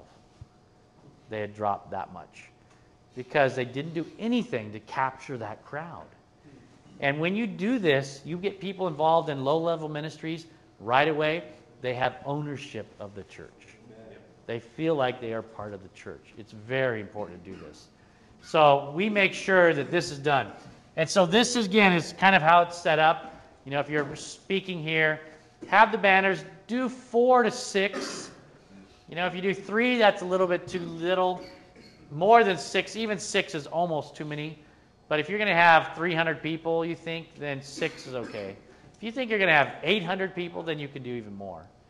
Um, and, and listen, I know that we think that this is unusual because that's not how Adventist churches have started.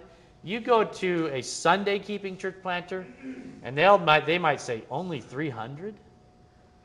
For them, that's that's what they want. That's what they expect. You'll get what you expect. You will get much bigger crowds if you do the process right. Um, and so now you don't have to use this again. I've told you many times. This is just how we train. You can take pieces if you want, but I can guarantee you if you're not strategic about capturing that opening day crowd, you get what's called looky loos. People will come to see this new thing, but they're not planning on staying. You've got to you've got to do something to help motivate them to come back. And so getting them involved in a ministry right away helps them do that. All right? So any questions? Yes. I don't know where it is. Who's got a mic? All right, there, thank you. Yeah. Yeah, you guys don't need to push these buttons when you're talking. They're already on. So much buildup now. I don't know if I can ask the question. Um, uh, How, how are, are, the- how's the conferences, I mean, as far as timing, you know, because you say five months, but the, the risk you run is it may be seven or eight months before you want to do the, the church grand opening. Right. Um, I know conferences are reluctant when it comes to pastoral coverage. They're also reluctant to put money into areas that are unexplored. Uh, they want to use Bible workers. They want to use, y- y- you know what I'm saying? I mean, so when you say, well, if I come in as a church planter, uh, it's going to take me a year before I get a church up and running. But then when I am up and running, you're going to have 300. I'm just trying to look at it in a traditional understanding of, of conferences. There, there aren't very many conferences that be willing to say, you know what, I'll pay your full salary for you to go around and jibber jabber with people in the neighborhood. Yep. Yeah, yeah, you're, you're right. There are, there are a lot of conferences that won't, won't see that. And a lot of you will be planting a church that you already have a church. So you're going to have to do this while you already have a church. Um, and you just have to make it work, but it works. I've seen it happen many times. You can make this work. The first thing I do if I was running a church or a district is I would train leaders to take over. So I'd be freed up much more time to be able to do this. If you're doing if you're doing prayer meeting and you know, Friday night service and all these things as a pastor, you're not doing what the Bible says you're supposed to be doing. You're not doing what Ellen White says you're supposed to be doing. I'll just be honest. You're doing what the Catholic and Protestant churches say you're supposed to be doing. That is not Adventism. Adventism is training the people to do ministry. That's why I only preach half the time. That's ministry. I don't go to every hospital visit. I don't do all the visitation. That is, I am called to equip the members to do the work of ministry. Yeah. Yeah, just a quick one on that. What I found is that whatever the pastor does regularly weakens the church in that area. I agree completely. And so, you know, so if you want to do something, I love to play piano, uh, but I rarely get to play in churches. And but if I took over the music ministry and I did all the music, when I leave, that church is going to be very weak in music. You're area. exactly right. You're exactly right. Very good point. Yes, the question? I think um, uh, when pastors hear that, they, they get really complacent and they just, they feel like they, all their gift is, is to train people, but not to do anything else or visitation or any of those things. And really what they need to do is go alongside That's their how you do the leaders training, right. And train them. They're, Right. they're still working because people, when they see the pastor doing it, then they'll be more likely to do it also. Yeah. So that's just the other side of it that I've seen that, you know, they sit back and read a book while, oh, you guys are supposed to be doing the work. Yeah, no, no. Really? Okay, my other question is, how, at what point is the core team closed? Launch day. So people can join the core team No. anytime through You, that? you handpick the core team. So you usually stop picking people for the core team five months before you launch. Okay, So now you can join the launch team anytime before you launch. okay. But even a launch team ends at grand opening. Now you're, now you've, you'll be working through this process with your core team, but once you launch, then you launch also your leadership structure, whatever that might look like. So after, after launch day, mm-hmm. then your new ministry leaders are your ministry team leaders? Or If, your- if that's how you set it up, You're bored. Yeah. Right? if that's how you set it up, yeah. Yeah. All right, any other questions? All right, oh yes, sorry. Quick question. Uh, do you have any experiences implementing these things into already No. running church plants? No? Ru- Already running church plants? Like, like a church plant that's already grand opening? No. like It's already passed? No. Your culture is already set. I'm not saying you can't, but I don't have any experience doing it, and I wouldn't do it myself. That's, it's too confusing for a church plant. You can maybe take a piece at a time. I mean, there's a, there's a way to create culture change. It just takes a lot longer. And again, the saying that we say is, it's easier to give birth than raise the dead. And so if something is dead in a church, it's easier to, to birth a new church that does it right. And then that church, though, will see what you're doing and want to adopt it if it's effective. So the best way to change existing churches is plant healthy new churches. So, yeah, it's, it's, sounds harsh, but it's a reality. All right, so let's go to our table group discussions. You see that, um, Step nine, great grand opening. You have three questions on that, and you have eight minutes for that one. So, what story might you use? Question one. Uh, well, some people say the prodigal son. Good, that's enough. Perfect. I like it. I know, look at the, when's All right. Prodigal son. What might happen if you're not intentional about getting first-time guests to come back? They won't come back. That's right. Pretty simple, right?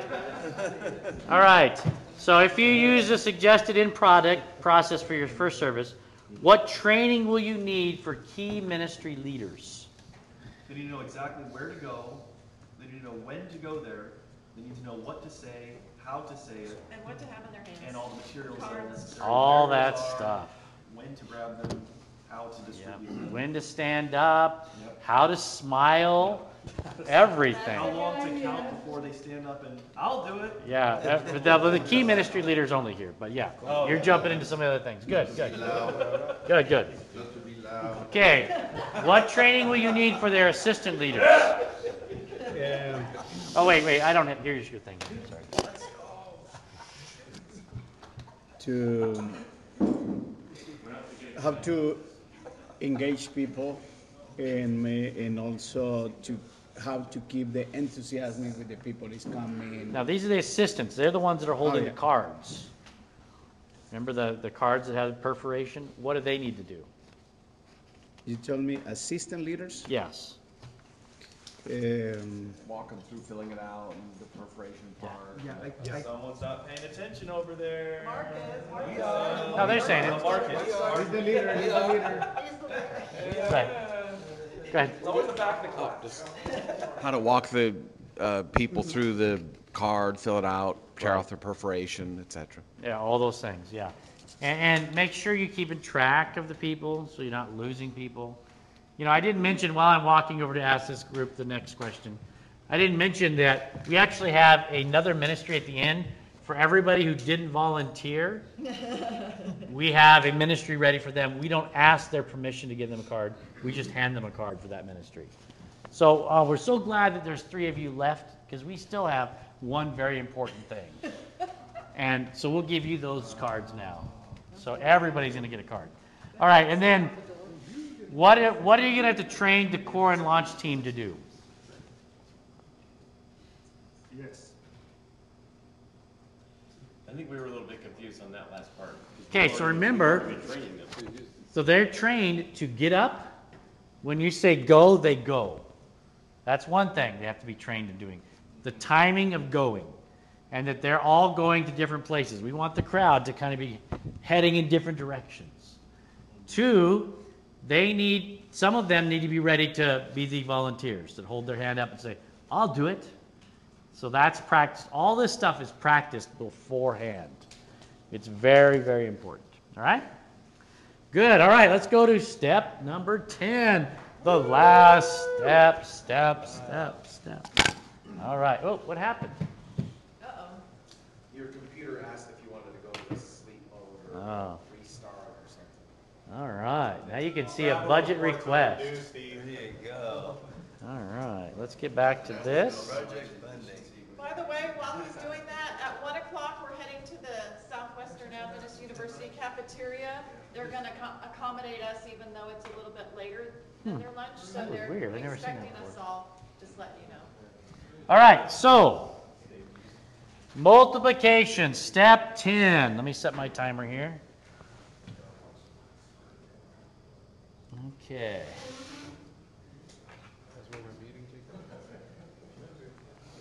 All right, so you've already had you have already had your first service now. But you're training for this step before you have your first service. In your core team, you're training about how you're going to be a multiplication church. By the way, I am trying not trying to train you today on how to um, plant a church. We're training you on how to plant a movement. And that's what every church should be. You're starting not a church, but a movement. These churches should be in their minds always, we are the first of many. And so this mindset also starts at the very first service. So at the grand opening, when we take an offering, we talk about how excited we are that we're going to be able to help this community. But you know what? There's a lot of communities out there that don't have a church like this that cares about their needs. So today we're going to take up an offering not for us, but we're going to take up an offering for another church in the future that we're going to start in a different community. We want to take up an offering to help that community in the future. So when we take that very first offering, it doesn't even go for the new church plant. It goes for the next church plant. So from the very first week, it's in the mindset of everybody who came that this is a movement. Mm-hmm. We are not starting one church. And then every six months, we take that same offering again, forever. Always doing that for the next church plant so that there's a little bit of funding, but more importantly, so that that mindset never leaves the church. So, what does multiplication look like? Well, members should learn, a member should learn how to bring in new members. They need to learn how to make friends, to do Christ's method alone. Get out involved in people, meet their needs, develop relationships, show them that they care about them, um, and then, when it's appropriate, begin the spiritual journey with them towards Christ. Leaders need to train new leaders. Every single job description we have in our church, when you're the leader, the job description first line says, train your replacement. That is your number one role. Train somebody to do what you're doing. Disciples, you're not a disciple if you're not making new disciples. So always work on that area. And then churches are called to plant new churches. That's the multiplication model that you see in the Bible Jesus used. All right? All right, amen. So, the first and most important step for organic multiplication and church revitalization both is obeying God. He's asked us to be multipliers. We are called to do this kind of work. And if we want to see this happen, we've got to obey Him. I want to ask yourself when has it ever worked out well for man to do their own thing instead of God's thing?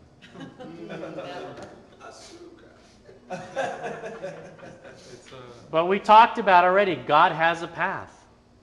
He gave us a message and a method.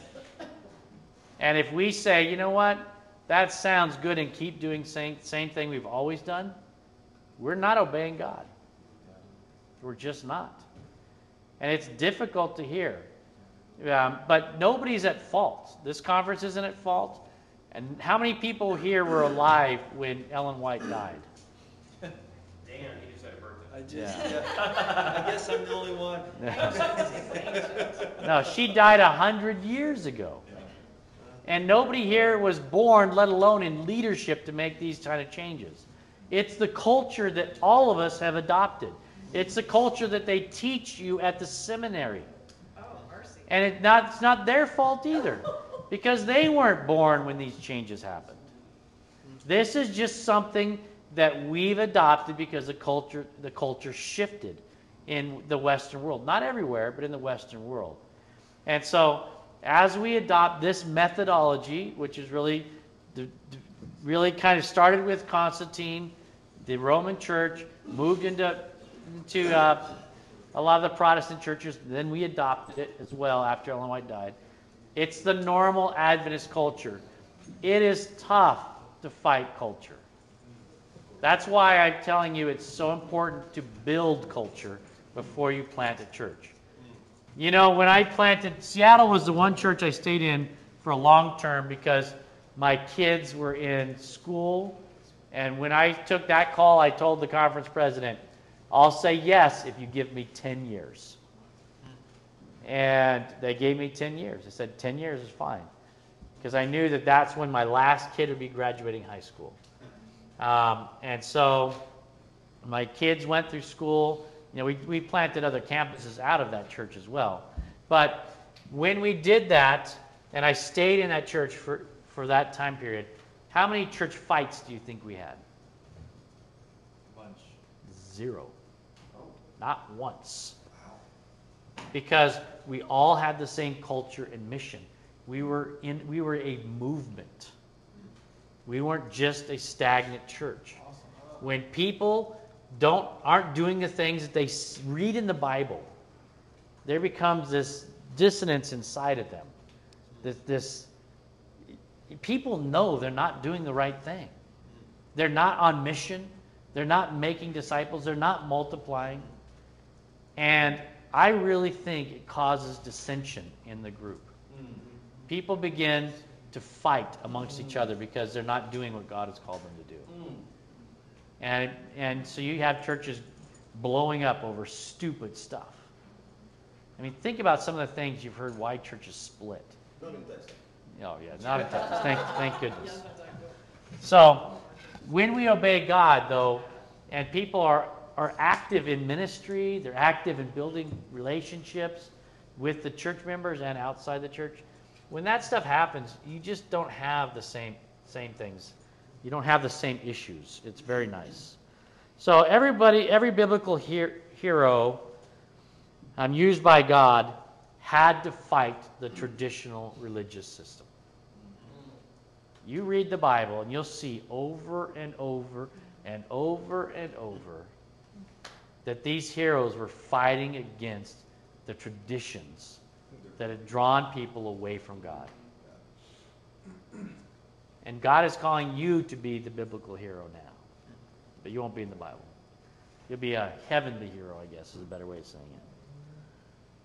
So, um, I'm not going to go into much more detail on that. Multiple, multiplying churches multiply. They have a plan.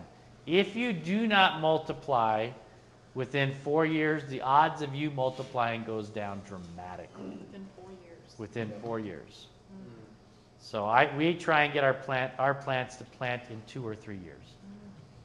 So you could do it even faster than that. There's, there's churches that are planting every year.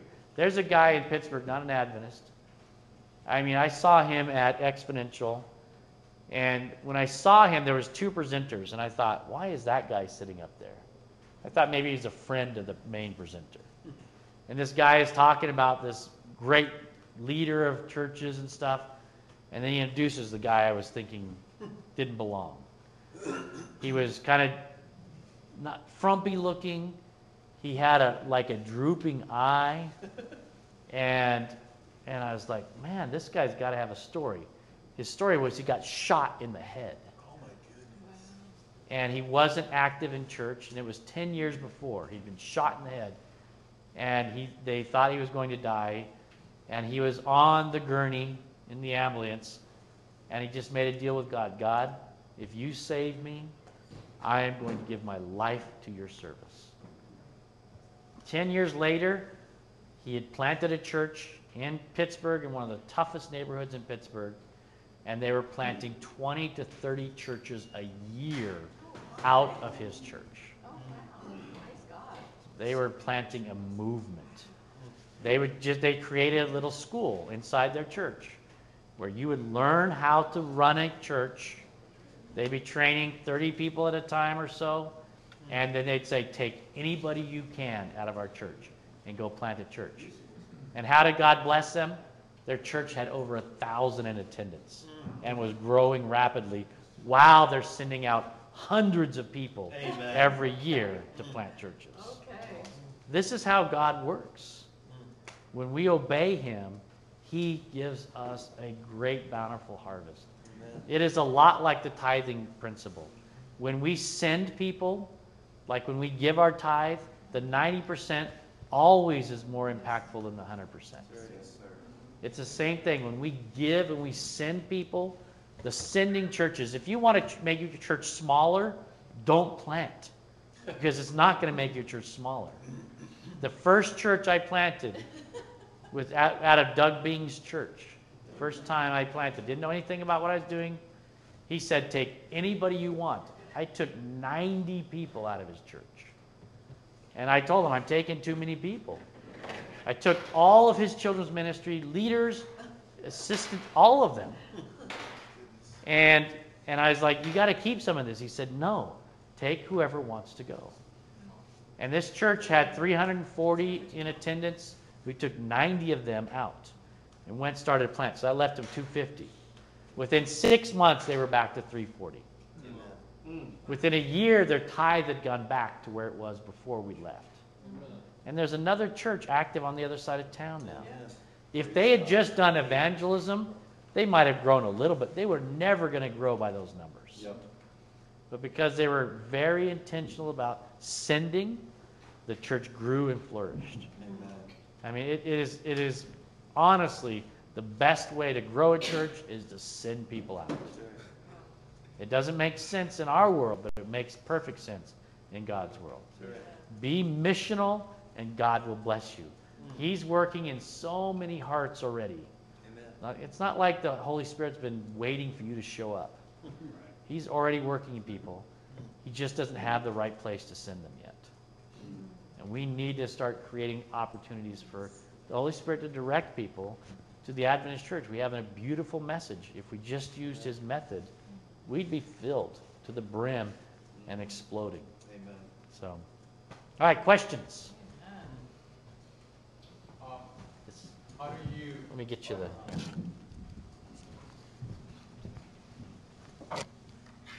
I know that you mentioned that uh, you don't have a board meeting, but, you know, there are some, uh, I guess, uh, protocols that we do with, in connection with the, uh, with the conference, you know, accepting members and doing things that usually we, you know, we do it through the board. So how do you uh, manage to do that? I don't want to tell you.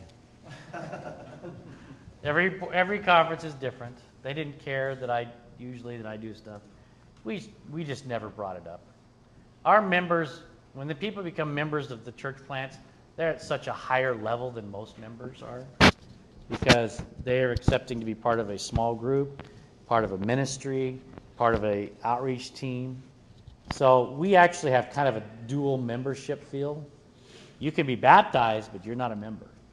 I know that's not the Adventist way, but you know we are right with people being baptized when they're ready to say yes to Jesus. But if they're not ready to be a full member of the church, they're not going to be. But usually by the end time, it's very rare that we have a gap. But once in a while, we'll have a gap of a few months. That's okay. It happens. So, but uh, yeah, frankly, I mean, I know I work at a conference now. I, I'm not a big fan of a lot of this stuff, the different levels of church and all these things. So the conference would always have to tell me, you're going to be at church. I never asked. I could care less because it didn't change how I was acting. You know, you're going to go to a company status now. Okay, whatever. You're gonna be a church status now. All right, that's fine. Do whatever you need to do. It Doesn't, doesn't affect the ministry. You know, it's more of a, I don't know what it is. But, uh, you know, so those things I just didn't think a lot about, honestly. I just did what, you know, if they told me to do something, I did it. But, All right. Yeah. So my question has to do with what's the, when you have a current Adventist church, what do you think is the wisdom and how close another church plant should be? Because we have rules and regulations at different conferences, so I'm curious. So we just wrote our policy manual. You cannot plant next to a existing church unless you're reaching a completely different culture. So if you're reaching young adults and it's a more, more older church, you can plant across the street. If you're planting it for a different language or culture group like that, you can plant it across the street. But if you are planting the identical church, reaching the same people, then we want some distance. We don't, we didn't set the, the parameters on how far though. Yeah. Any other questions?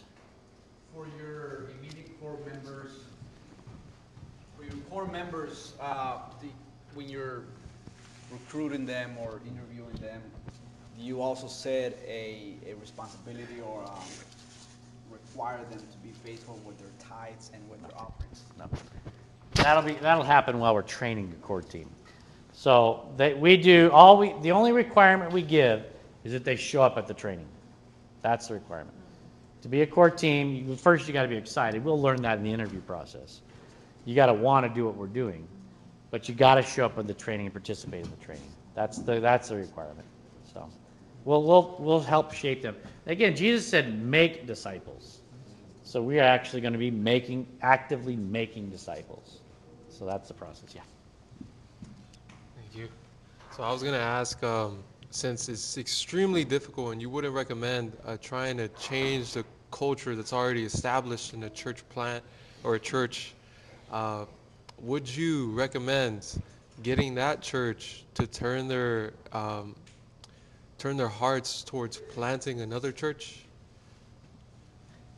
Every church is different. I can't answer that one. There's, every church has a unique situation. So some yes, some no. I can't tell you which, which would be right for that situation. Do they need to be healthy before you say yes? Well, if they're going to plant as a mother church, they need to be healthy. If they're just sending people, they can be anything they want, as long as you've picked a core team that'll fit your new culture. So it does. They don't have to. We've had healthy people come out of unhealthy churches. So it's it depends. Every you know, there's no right answer. All right, so let's get into our last uh, group session, table group session, and we have uh, eight minutes on this one as well. Okay, all together. We are not teaching you how to start a church, but a movement. Good. Use that a lot when you're training. A lot. Make sure that that is normal part of your conversations with people. So let's go to this table. Finish this thought. A church without a plan to multiply what? Will add or subtract. Yeah. Well, what? Say it louder. Will add or subtract. Instead of multiplying, they'll just add or subtract. Good, good. Maybe even divide. Yeah. Maybe even divide. Okay. What are three? What are one? What is one thing you could do in your new church to keep the goal of multiplying high on your members' thoughts and priorities? One thing. We uh, came up with celebrate. Just celebrate it. Celebrate multiplication. Good. Celebrate sending. Another one thing. Um, planning it, have a plan with a timeline. Have a plan with a timeline. Good. To keep multiplying. And another thing. The first, the first offering, make sure that it is for the next church. Nice, nice. You guys are geniuses. Good stuff. They're creative. Yes, I like it. Six months, every six months after that. Yeah. All right. So what I'd like you to do as we're, we're closing today is we're going to do a checkout system. And what I'd like you to do is just tell us in 15 to 30 seconds one thing that you're going to be taking away from this and how you're going to be using it. But I keep saying keep it short because I will not make my flight if you go on and on. All right, so let me give you one of these and just start passing this around. We're going to start over here. I'll take the greeting diagram. Okay, and how are you going to use it? I'm going to train my greeters. All right. Culture matters, celebrating multiplication by sharing every, all the time, reinforcing it. We're here, not here to be stagnant, we're here to grow. Amen. Uh, I guess uh, understanding the needs of the community, it's, it's, it's key to really develop a, uh, a vision and a mission. How are you going to use that? Well, I think I need to do this with, you know, what church uh, analyzed our community Yeah. and, and, and see what we can do for them. Good, good. Even though the cross-cultural environment may be a lot different, there's so much need for me to become much more organized and deliberate in the steps that typically work while still really depending on the Holy Spirit. Amen. Amen. understand your community. Yeah. How are you going to use that? Um, visit more people in community. Nice. And practice the 10 steps. Yeah. How are you going to practice them? Follow the direction and then uh, keep doing. Yeah, good, good. Stay consistent. All right. Well, I will, I will review this, all these principles to the church board, Uh-huh. and I will celebrate with my church what they're doing now. Okay. You can speak in Spanish. No, necesitamos plantar más iglesias. We need to plant more churches. All right. Okay. Following the. Um, we need a well sought out planned vision. Yeah. So I need to pray on a vision. Okay, good, good. God-sized vision. Excellent. Even though uh, door to door is something very normal for me as a colporteur, I think it's uh, personally it's I need, I need to reach this next step on uh, being more specific on the things we, we do. You know. Oh, nice. Asking about needs and stuff. Yes. Good, good. Just keep the vision of where you're going in front of the people you're working with so that you're not the only one that has the vision, but that everybody, your whole team has the vision. Nice. Very important. Very important. Um, I feel like the most important thing I'll take from this is figuring out how to help Pastor Jacob um, figure out how to implement enforcing small groups and ministry as a requirement for Mm. the church Mm. to start the culture. Amen. Um, For me, it's big expectations and big dreams, Mm-hmm. and uh, setting numerical goals that are faith, God-sized. Okay. Just Pastor. Uh, we, our greeting needs help, and so I'll be developing that a lot better with, with what I've learned. Amen.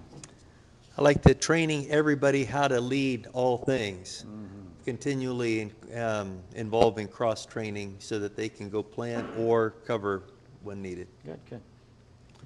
I'd like to uh, help uh, Salt of Life, where I'm from, to keep track of people better. Make sure that every single person that enters uh, is not let go very easily. Yeah, amen. Good, good.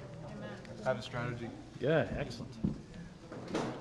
The, the idea of the process. Yeah. It's simple, clear, and the intentionality and the purpose of that, and the timeline. I love the timeline because it's, I think that it will help. And So you're going to develop that type of stuff? I will try to do that as best as possible. Amen. This- this- they are going to do it. Yeah.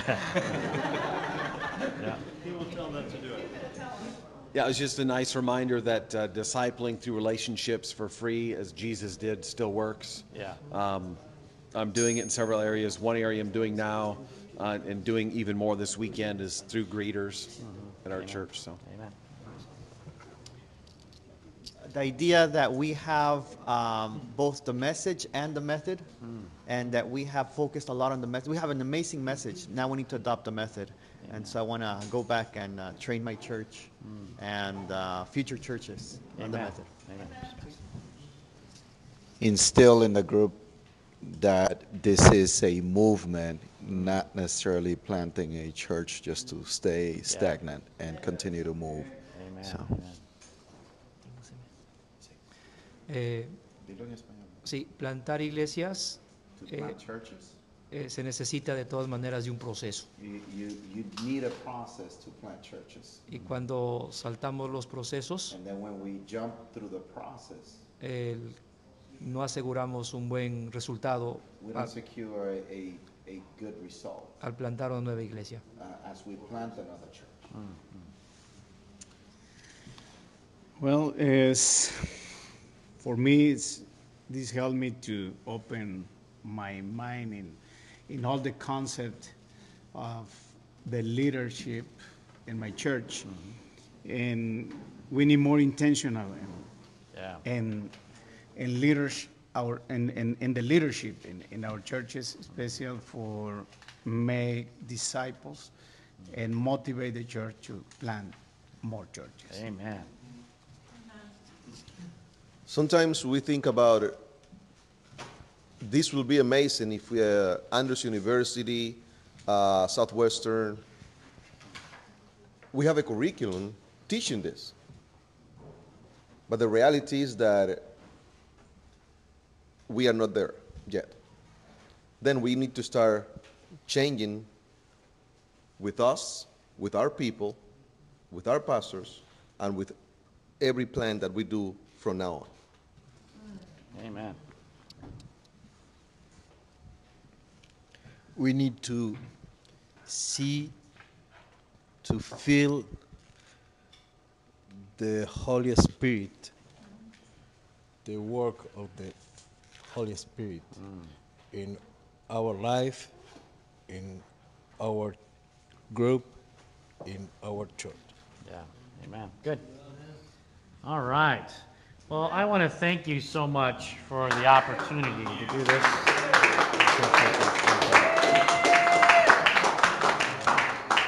Um, I also wanted to, um, if we could, just have a time of prayer together and just pray that a movement will start within each of us. That, because I believe strongly that in this room, that every one of us can be a movement. And we just have to make the decision. Are we going to let God use us in that way? Because that's how God trains his disciples, is to make movements. Um, if you read, read the New Testament, you'll see that each of them had their own unique way of doing that. But God used them to spread his work around the world rapidly. And I want to go home. I want to go to heaven. And we really need this movement to accelerate. And once once the uh, Texas conference and maybe my conference and others start actually creating movements, then other places around the world will take notice. Um, you know, there's a Texas conference was known as the church planting center. And still, you plant a lot of churches. But if you become movement makers, man, that's going to make change the world. So let's let's be those people. So can we all gather just up around here and let's let's have uh, uh, Dan, if you would pray over this group, and then Robin, would you pray over this group as well?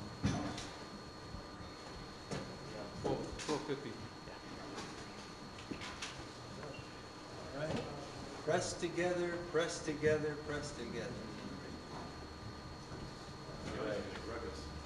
That's right. Not rugged. Not rugged, not rugged. All right. Oh, we gotta, we gotta everybody in the line. Get Bring in 'em line. all in, bring 'em all in. Don't leave 'em But however works best for you.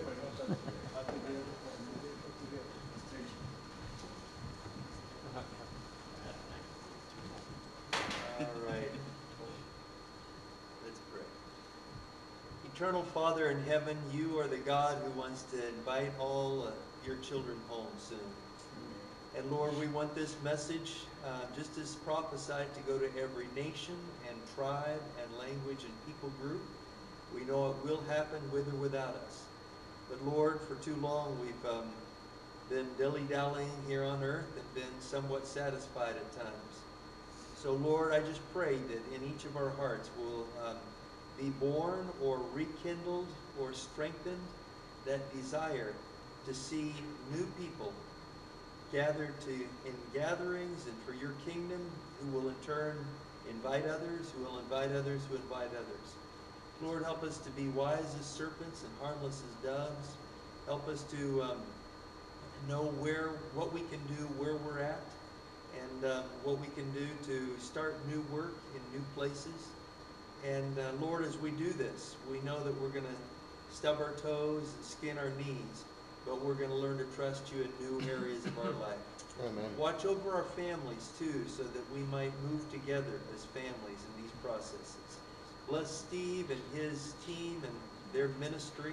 Thank you for his sharing these insights. And Lord, we just ask that um, it'll be good seed and good soil here Jesus' name. Amen, amen. Father in heaven, thank you for everything you have given us, and especially, Lord, for this time that we have shared together with Steve, with um, evangelism uh, coordinators and church plant coordinators. And Lord, especially because we have felt the presence of the Holy Spirit among us. And Lord, if we go back in history, in the history of our church, there was a little amount of people that started movement. And we would like to be compared to a little amount of leaders, pastors, that we want to start a movement in Texas. What about if you have called us for a time such as this? To make a difference, to really plant a seed that will grow and will expand in Texas. And we start planting new churches, new congregation with a mission minded, the mission of Jesus Christ, the method of Jesus Christ. Mm-hmm. And we start treating each other with love and compassion because that's what you really projected since the beginning. Mm-hmm. Father, thank you. In Jesus' name we pray. Amen. Amen. All right, God bless you all. Thank you. One, two, three. When you have the Lord and you have each other, what else do you need?